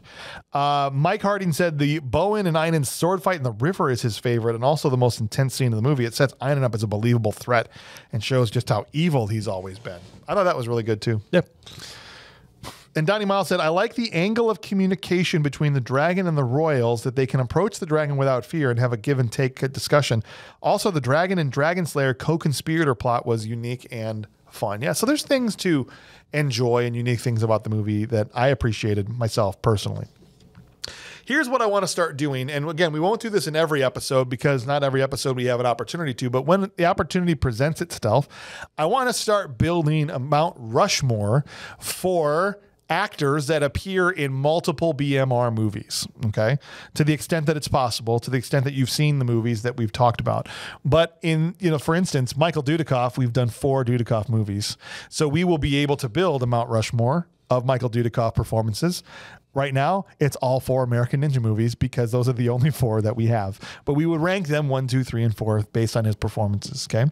Uh, and then now, once we do a fifth Michael Dudikoff movie, one of those movies has to come off the Mount Rushmore and the other one has to slot in somewhere. Gotcha. And so we'll be carrying this through as something that is a serialized element of the show that comes through and builds over time from show to show and isn't something that just stands for each individual single episode. Does that make sense? Sounds good. Sure. So we have two actors today that we have to add to their Mount Rushmores here because this was a third movie for two different actors. So we'll start with Jason Isaacs. Jason Isaac has appeared in Resident Evil, Elektra, and Dragonheart. And so we would figure out ourselves like where these movies slot in. And I think for this one, unless you guys disagree with me, it's obvious that Dragonheart out of the Jason Isaac movies we've done would be number one because it's the only real part he's played. But beyond that, did you like him getting killed in the first second of Elektra better than him being the hazmat suit guy in Resident Evil? And where should we rank these one, two, three? One flip a coin. Uh, basically, I mean, Elektra was terrible, but he was not part of the terribleness of it. I mean, I thought he, you know, did a hell of a job getting killed early on in that movie. No, I agree. I mean, Personally, I would, go. I'd probably pick Maybe- Elektra too, Because I would rather not watch Elektra the most. I would say that's three. okay. Yeah. Because He- we can't give probably it even five asked yet. for it. he probably saw the script Because what? and said, yeah. Because we can't give it five yet. We can't not yet. Right. No, eventually it'd probably be the first one thrown off. Yeah. Yeah. But right now I would go I would go Dragonheart for Jason Isaac, then Resident Evil, then Elektra number three. Yes, because Elektra sucked. All right. Seems reasonable. Perfect. The other actor that we have is Brian Thompson, who, as I said, appeared as the villain in Cobra. He has been Brok in this movie. And then also, if you remember Three Amigos, he was one of the German guys that ends up having the quick draw match with, I think, Steve Martin Okay. and ends up getting yeah. shot. And so I think that would be the third out of those performances. His little part is the German. But which one did you guys like better? Him as Brok in Dragonheart or as the main bad guy in Cobra? to me, it's Cobra, Dragonheart, just because he had more of a part, and then Three Amigos because it wasn't in that one as much. I'm totally fine with that ranking. I'm gonna I'm gonna go with the mayor on that as well. Yeah. Cobra, Dragonheart, and then Three Amigos. All in favor? Say aye. Aye. I- Oh, good for you. All right. that is the Mount Rushmores. And as we add, because uh, this show is going to be around for a long time. And so as we build this and we have more actors that we're doing more and more movies for, we're going to have more and more arguments and discussions about which ones should end up We've got on the top four. We've got to get Jack Dean a channel now to track this for us. track the Mount, the Mount Rushmores Yeah. for the actors as we go through this. Perfect. There is another element that we're going to be adding to the final rating, but we can't do that until we do. We're going to end up having a big live stream um, coming up here soon that we'll have to build out the structure for this other award. And then once we do that, we can start doing it in the episodes, but we have to go through um, kind of this long process before we can do that. So that's just a little teaser for now. And as soon as we get that live stream kicked off, which we're working on building the program in order to do the visuals for that live stream, and then we can jump into the rest of it. So take that for what it is. Cool. I figured it out. Did you? I believe so. Okay, well, tell me after and I'll tell you if you're right. Okay, perfect. Uh, What? It's time to give our final rating, guys. We have to ultimately land the plane here on something. Is this A bad movie. Are the critics right? They have got this as a rotten score, but it's close. It's on the line. We've got audience members are even close. It's 60 40 good. They're 60 40 good. The critics are like leaning bad. Who is correct and who's not here? Clint, we're going to start with you. Is Dragonheart a good or bad movie? Well, a bad movie is a bad movie, and a good movie is a good movie. But I think that a bad movie that rules is a fantastic rating. I think that that is a very prestigious thing, right? Because Yeah. great movies are great, good Yeah. movies are good. Yeah. I think that this movie, objectively, it's it's not. It's got problems. It definitely has problems. It's not perfect by any stretch. Yeah. But it's not bad enough to be bad, and it's not rules. So I mean, I can't even just blanket it in in the what as our middle as a bad movie. I think it's a good movie, but I don't think it's as good as a bad movie that would rule. Okay. It's I, I need my Rolodex again from my 16 So you're saying it's neither. It's neither. It- It's a good movie Like I that said, sucks? it's a good movie that's eh. Um, yeah, it's I mean, there. it's, Maybe it's a good movie that sucks. It's a movie that's movie, but it does have its problems. I, I enjoy it when it's on. It's not something I'm gonna like. Uh, if if I was sick, you know, and I'm sitting on the couch, Okay. and I'm just I'm I want to watch something, but I'm not gonna want. Gonna scroll through the tablet Yeah, or something yeah. else and do something else. Maybe do some paperwork or whatever, and it's on. It would be okay for that, um, just because it's not totally attention grabbing. You can look for the four scenes that you enjoy, and you can listen to Sean Connery's voice. So it's either Red October or this for just listening to Sean Connery and not watching. So it's a good movie that sucks. It's a good movie that's eh. Okay. Yeah. All right. That's Ryan Farrell's I mean, like sucks. fourth Yeah. created It thing. That, Right. remember, he created that fourth category of Right. It's Well, a good I- movie like that I, said, sucks. I, I did that right off the bat. You Yeah. know, you were giving me hell about 16 of them. yeah. Maybe I need a seven. Yours had Alright. like a slide rule, and you had Yeah. to multiply and. And, then, and then spin the wheel and try and stop it. Right. Yeah. I tried to get fancy. I, I had the one with the Pop-O-Matic bubble, and I didn't like appreciate that, one either. We can, so we can go back to that. I'm starting to soften on that whole thing. uh, look, Sir Hitman goes, My final rating for this is a good movie, full stop. I enjoyed this movie so much, I'm going to buy this movie now after renting it on Prime Video. So, dude saw it and loved it that much, and which is fine. Uh, hey, John, what do I always say? Totally. Like what you like, man. It's Like all good. Don't just because we don't like something, and I'm not even saying everybody here at the table feels the same way I do. If it weren't for people liking the unlikable, I wouldn't be married. That's there you go. Exactly. How would you even have a family right, now? Right. She would have just run off like everybody else. Mel, where do you land on this film, buddy? I can't say it's a good movie that sucks. Okay. okay. It's a good movie that I don't like. Okay. It's it. it So it has a lot of redeeming. yeah. uh, objectively, it has a lot of redeeming qualities that I, I sat there and watched it, and and honestly, I watched it back to back. Okay. But that's the only two times I'll probably watch it. Yeah. But it wasn't a bad movie, Yeah. so I can't say it's a bad movie that rules. All right, I, I can fine. I can say there's there's people that are gonna like it. I'm gonna say it's a good movie that I just didn't like. All right. So you see, uh, you're starting to see how the ratings are bearing out because even just with the two of you, you're totally split on Right. yourselves. And then the numbers have kind of bore that out. It's just a really interesting film that way, just to see how how it kind of like it's in this weird middle area. Right. People have a hard time even quantifying it, myself included. Uh, our patrons haven't had a hard time qualifying it. Josh Bowman said, This is a good movie. For me, a great movie. I feel like we don't have too many of these family friendly fantasy movies anymore that we have both the charm and grit that this movie provides.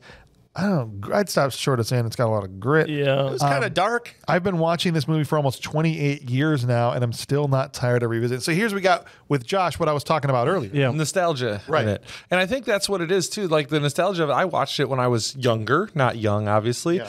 Uh, the kid was in the room with me. My wife stayed. She watched it. Like this movie is thoroughly watchable. Yeah, yeah, You're not going to seek it out unless you know. yeah. So what Katie say? Katie actually, I mean, she's like, hey, it's way better than Garbage Pail Kids, but what really isn't? I mean, like, legitimately, she had Not a ringing endorsement. but not a terrible reaction to it, which like Yeah. that's the best I could hope for because she doesn't like things specifically because I like them or Yeah. because we're having to do it. I mean, like that's the the extent of her rebellion is to just disenjoy things. Oh, you that like I know this? she likes. Oh, you like this? because I like it. too. Yeah. Gotcha. I got you. Um, all right, so that's two great movies. And Josh, I, I fully agree in, in that if I had watched it back then, I might feel totally differently. I think I started this by saying I think Dragonheart is one of those movies where if you saw it at a certain age or at a certain time in your life, you probably love the crap out of this movie. We were too old at that time to really, you know, but if I was eight or nine and I saw this movie, I'm probably right here with Josh Bowman. That dragon's way cooler, like- right? At eight. Love Oh, yeah, this movie. This is a great movie. The problem is I was 44 when I saw it for the first time. Yeah, me too. like a couple days ago, right? So I just don't have those feelings for it. And so for me, the adult themes don't really land. As a kid, you're like dragons, woo! like I, you know, Yeah. cool. Um, and then you attach butt yourself to things that yeah, and a butt joke. Yeah. even now as you watch it back, you're like, oh, this is great. But I didn't, I didn't enjoy, I w- I don't think I'd ever watch it again. And so that's kind of my metric for if something's good. So I'm going to say bad movie because I have no interest in ever watching it again. I think the, in this case, the script isn't even, usually I blame the script. I think the script is pretty good. I think the acting's terrible, and this is actually where it fails is on the performances of Dennis Quaid and the, and and the villain was okay. None of the big moments really hit or land. I I am very I'm an easy mark for these kind of movies. I, I get into this stuff, the like the rousing nature of these battles, and let's go and overthrow the bad guy. And I I wasn't at any point like woohoo, let's go. I think this movie goes through as it is now, as the storyboard. What they make of it is amazing. Yeah, yeah. The for sure. next, the next run through on this would be fantastic. So I'm going to say rules. I, I didn't get to that part yet, but I, I- I- it's a bad movie. I'm going to say rules because I think there are enough enjoyable elements like Brother Gilbert, like Sean Connery, where I'm like, I don't want to give it the bad movie full on because I don't think it deserves it. But I also would never watch it again. Does that That's where I was. Was like, Yeah. it's a bad movie because it has its problems, but it doesn't rule because I don't absolutely dig it. So I had to go the opposite direction. Because I think bad movie that rules is way too high of praise. Yeah. because that is putting your personal stamp of dig it. Yeah. and you can't bad movie that rules something if you don't dig it. then I'm then I'm going to say a bad movie. Full stop. Then Yeah, you kind of have. That's what I'm going to do. Uh, all right, Mike Harding said this movie packs a surprising amount of story into its hour 43 runtime. It has a good blend of action, comedy, and heart, backed by beautiful scenery and a fantastic score. For the most part, the CGI holds up and the practical effects look good. 12 year old me loved this movie, and so does 39 year old me. See, we, we caught you There you again. go. just outed yourself, Mike, along Right. with Josh Bowman. Right. I would have loved this if I saw it when I was 12. I'm, Yeah. I'm serious. Uh, he goes, This is a great movie that's awesome. So you see just the difference. It, and I've it just I'll continue saying it for the rest of when you watch a movie is as important as how good the movie actually is. Absolutely. And what your mindset is when you watch it. Exactly. So uh, we See? throw it to you, Mueller. See, if you hadn't been subjected to those damn earnest movies when you were a kid, you'd hate them too. I, I probably wouldn't love them as much as I do. Yeah. Yeah, I, I think my feeling's the same as everybody at the table, which is I had to suspend the dog scale for this one because I just didn't know what to make of it. I didn't know where to put it. That's fine. It's like the dog crapped on the deck. It's like, God damn it. yeah, like the it ate chocolate and did Easy enough to wash on the off, but- Deck. Yeah, I look. I I think there's some. I you know I don't get some of these takes, but like what you like, patrons. Yeah. I mean, I've got great oceanfront property in Kansas for you too. Um, what a shot at the patrons. I love it. Go ahead. Sorry. were there some comedic elements? Yes. I think the only ones that really worked were when Brother Gilbert was on scene. Yeah. He was the mise en scene. Yeah. There you go, Farrell. Uh, otherwise, anything Dennis Quaid, some of his lines, they tried to give him some comedic lines. They didn't work. I think Sean Connery, you know, did his thing. I thought he was fine. Yeah. Uh, I, I think overall, this movie, to me, had a little bit of trouble deciding what it was. I, I don't see it as like a, a fantasy action comedy. I think they stuck comedy in there because they didn't know what to do. Yeah. It kind of seemed to me because so much of it didn't work. Um, I think you had, you know, some of the action, like we talked about, some of the action sequences were really good. I liked the sword fights. I liked, you know, kind of the dragon flying around, kind of doing his thing, even Oh, though it's CGI. I mean, but that, you know, still, I thought pretty good for the time. I mean, we did Escape from LA, which was a CGI nightmare, and that was came out the same year. Right. Um, so obviously they didn't use the same company Right. and uh, story i think the story is there i think it's a decent story so that's where i'm hesitant Yeah. i don't know that i can really call it a bad movie it doesn't rule because I These don't politicians just keep droning out, don't they? Yeah, No, it's he's trying to split a hair, which I, I which is kind of what everybody's done here. and yeah. it's and it's really hard because it's it's it has its problems. There's just holes in it, but is it a bad movie objectively? No. Is it a bad movie that rules? No, because I'm not gonna probably ever watch it again. I I obviously forgot everything from when I'd seen it way back when. yeah. When I would have been like, I don't know, 16, 17 when this came out. I'm gonna, think I'm gonna do a Clint just like it's a good movie. It's meh. I'll never watch it again. All right. You I- get I those movies it's- like, dude, you gotta watch it. Yeah. This is a movie that if you want to watch it, go ahead. I mean, there's yeah, I mean, there's movie and there's absolutely horrible movies. I'll be like, dude, you got to watch this thing. It's so horrible. Yeah. Laser Blast, not Dragon Wars. That I Come on, son. not Dragon Wars. All Don't ever watch that piece of crap. But yeah, this is just one of those where. And, Maybe if, like you said, maybe if we were had grown up with it, so to speak, and we weren't in our mid to late teens at the point we've seen it, and or now as adults, Yeah. might have a different feeling to it. But Maybe if the dragon had pulled out a AK-47 while he was now flying we're around talking. and start well, shooting if, if you and stuff. load the dragon up with a couple sidewinders, saying, maybe dude. some Mavericks, Be awesome, yeah, bro. taking out straw huts with sidewinders. right. What are you doing with a gun in space? All right. Can you fire a sidewinder while still on the ground? We'll see if What's that, that dragon, dragon? can. What's that dragon doing with a gun in the sky? Yes, you can. I don't know. I've never tried. Uh, Donnie Miles to wrap this up after three glowing reviews from our patrons. Donnie said, "Bad movie." Oh, Donnie. This will no doubt land me on the hate list of many listeners and crew, but this movie just didn't have the right vibe. It felt childish. The effort to play modern with the medieval just doesn't do it for me. A few tweaks here and there could have pushed into rules territory, but I just didn't find it very enjoyable in its current form.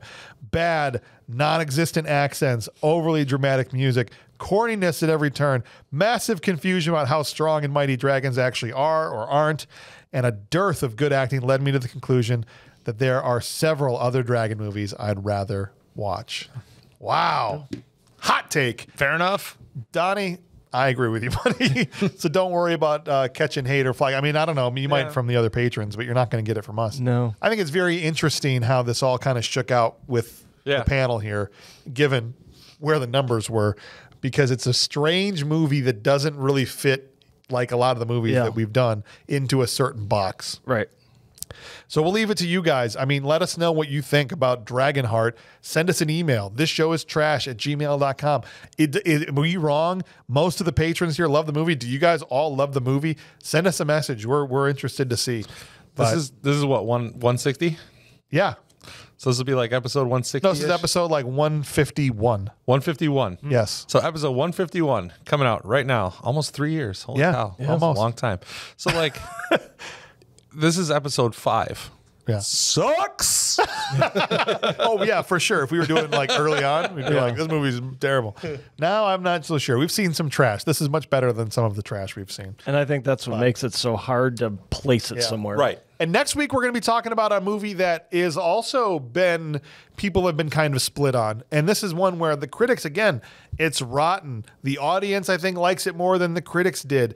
It's one of these movies that was a sequel to an absolute classic and people probably judged it harshly against Jurassic Park, but The Lost World just doesn't have the same like status as the original Jurassic Park does.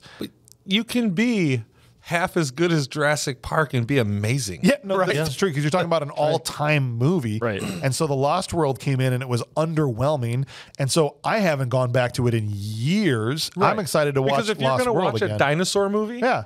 You're gonna watch Jurassic Well, Park. exactly. I mean, you're you have you don't watch Jurassic Park enough to where you're tired of it. So let's watch the second. So one. you're like, hey, let's turn on Lost World. I and mean, it's not that's- like Harry Potter again. I'm gonna I'm a dork. It's not like Harry Potter Right. or the Hobbit stuff, Right. know, or Lord of the Rings. Even Right. I'm gonna watch all three of them, or I'm gonna watch all six of them, Or none know, of them. Right. or whatever. But I'm like I said, you know, you're gonna watch uh, just an occasional dinosaur movie. right. It's Yep. gonna be the dinosaur. Right. And so we're going to have Ryan Madeline and Nicole Freer back in here because they both sat in for Jurassic Park when we did that on Good Movies Rule on Yep. our Patreon. And so we're going to have them back plus another person to be talking now about Jurassic Park 2, essentially, which was The Lost World with Jeff Goldblum. It was it was on not that long ago actually. I Oh, p- it? picked it up halfway through. I'm like, oh yeah, I forgot about this one. Yeah, I think Julianne Moore is in it. Yeah. and and Pete Postlethwaite, uh, brother Gilbert, two two weeks in a row. Oh, he's going on. He was like a dinosaur. He's gonna hunter. get We're gonna need him a Mount We're Rushmore gonna need here. Mount Rushmore here of Pete Postlethwaite movies. Whether was he better in Lost World or in Dragonheart, we'll decide that next week when we talk about that. But in the meantime, join us for Lost World. I just want to say thanks to Clint Bush and Mel Vandy and Ryan Mueller for coming in today and to the patrons that participated. We appreciate all of you guys, and we will catch you next week with Lost World.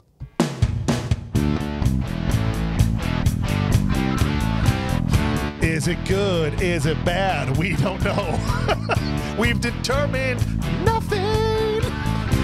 Thanks for wasting your time with us here at Bad Movies Rule. It does feel like ultimately Yeah. we got nowhere with this. Right. It, this episode felt like it was Dragon. Oh, dra- oh, hit him. The last second we got from one to two. Oh no. So it's all right. It's better than zero, like this, Yes. Yeah. right? Man, oh man. You know, there's two sequels to Dragonheart. I don't know if we need More to do than those. two. I thought they were all More than dead. No, apparently not. Oh. They found a Dragonheart. some amber. New Beginning, I think, is the next one. So They're, I mean, I think they're pretty recent too, like 2018. let's do it. Mike does not want us to do it, but we're doing it. We'll see you for the next Dragonheart movie.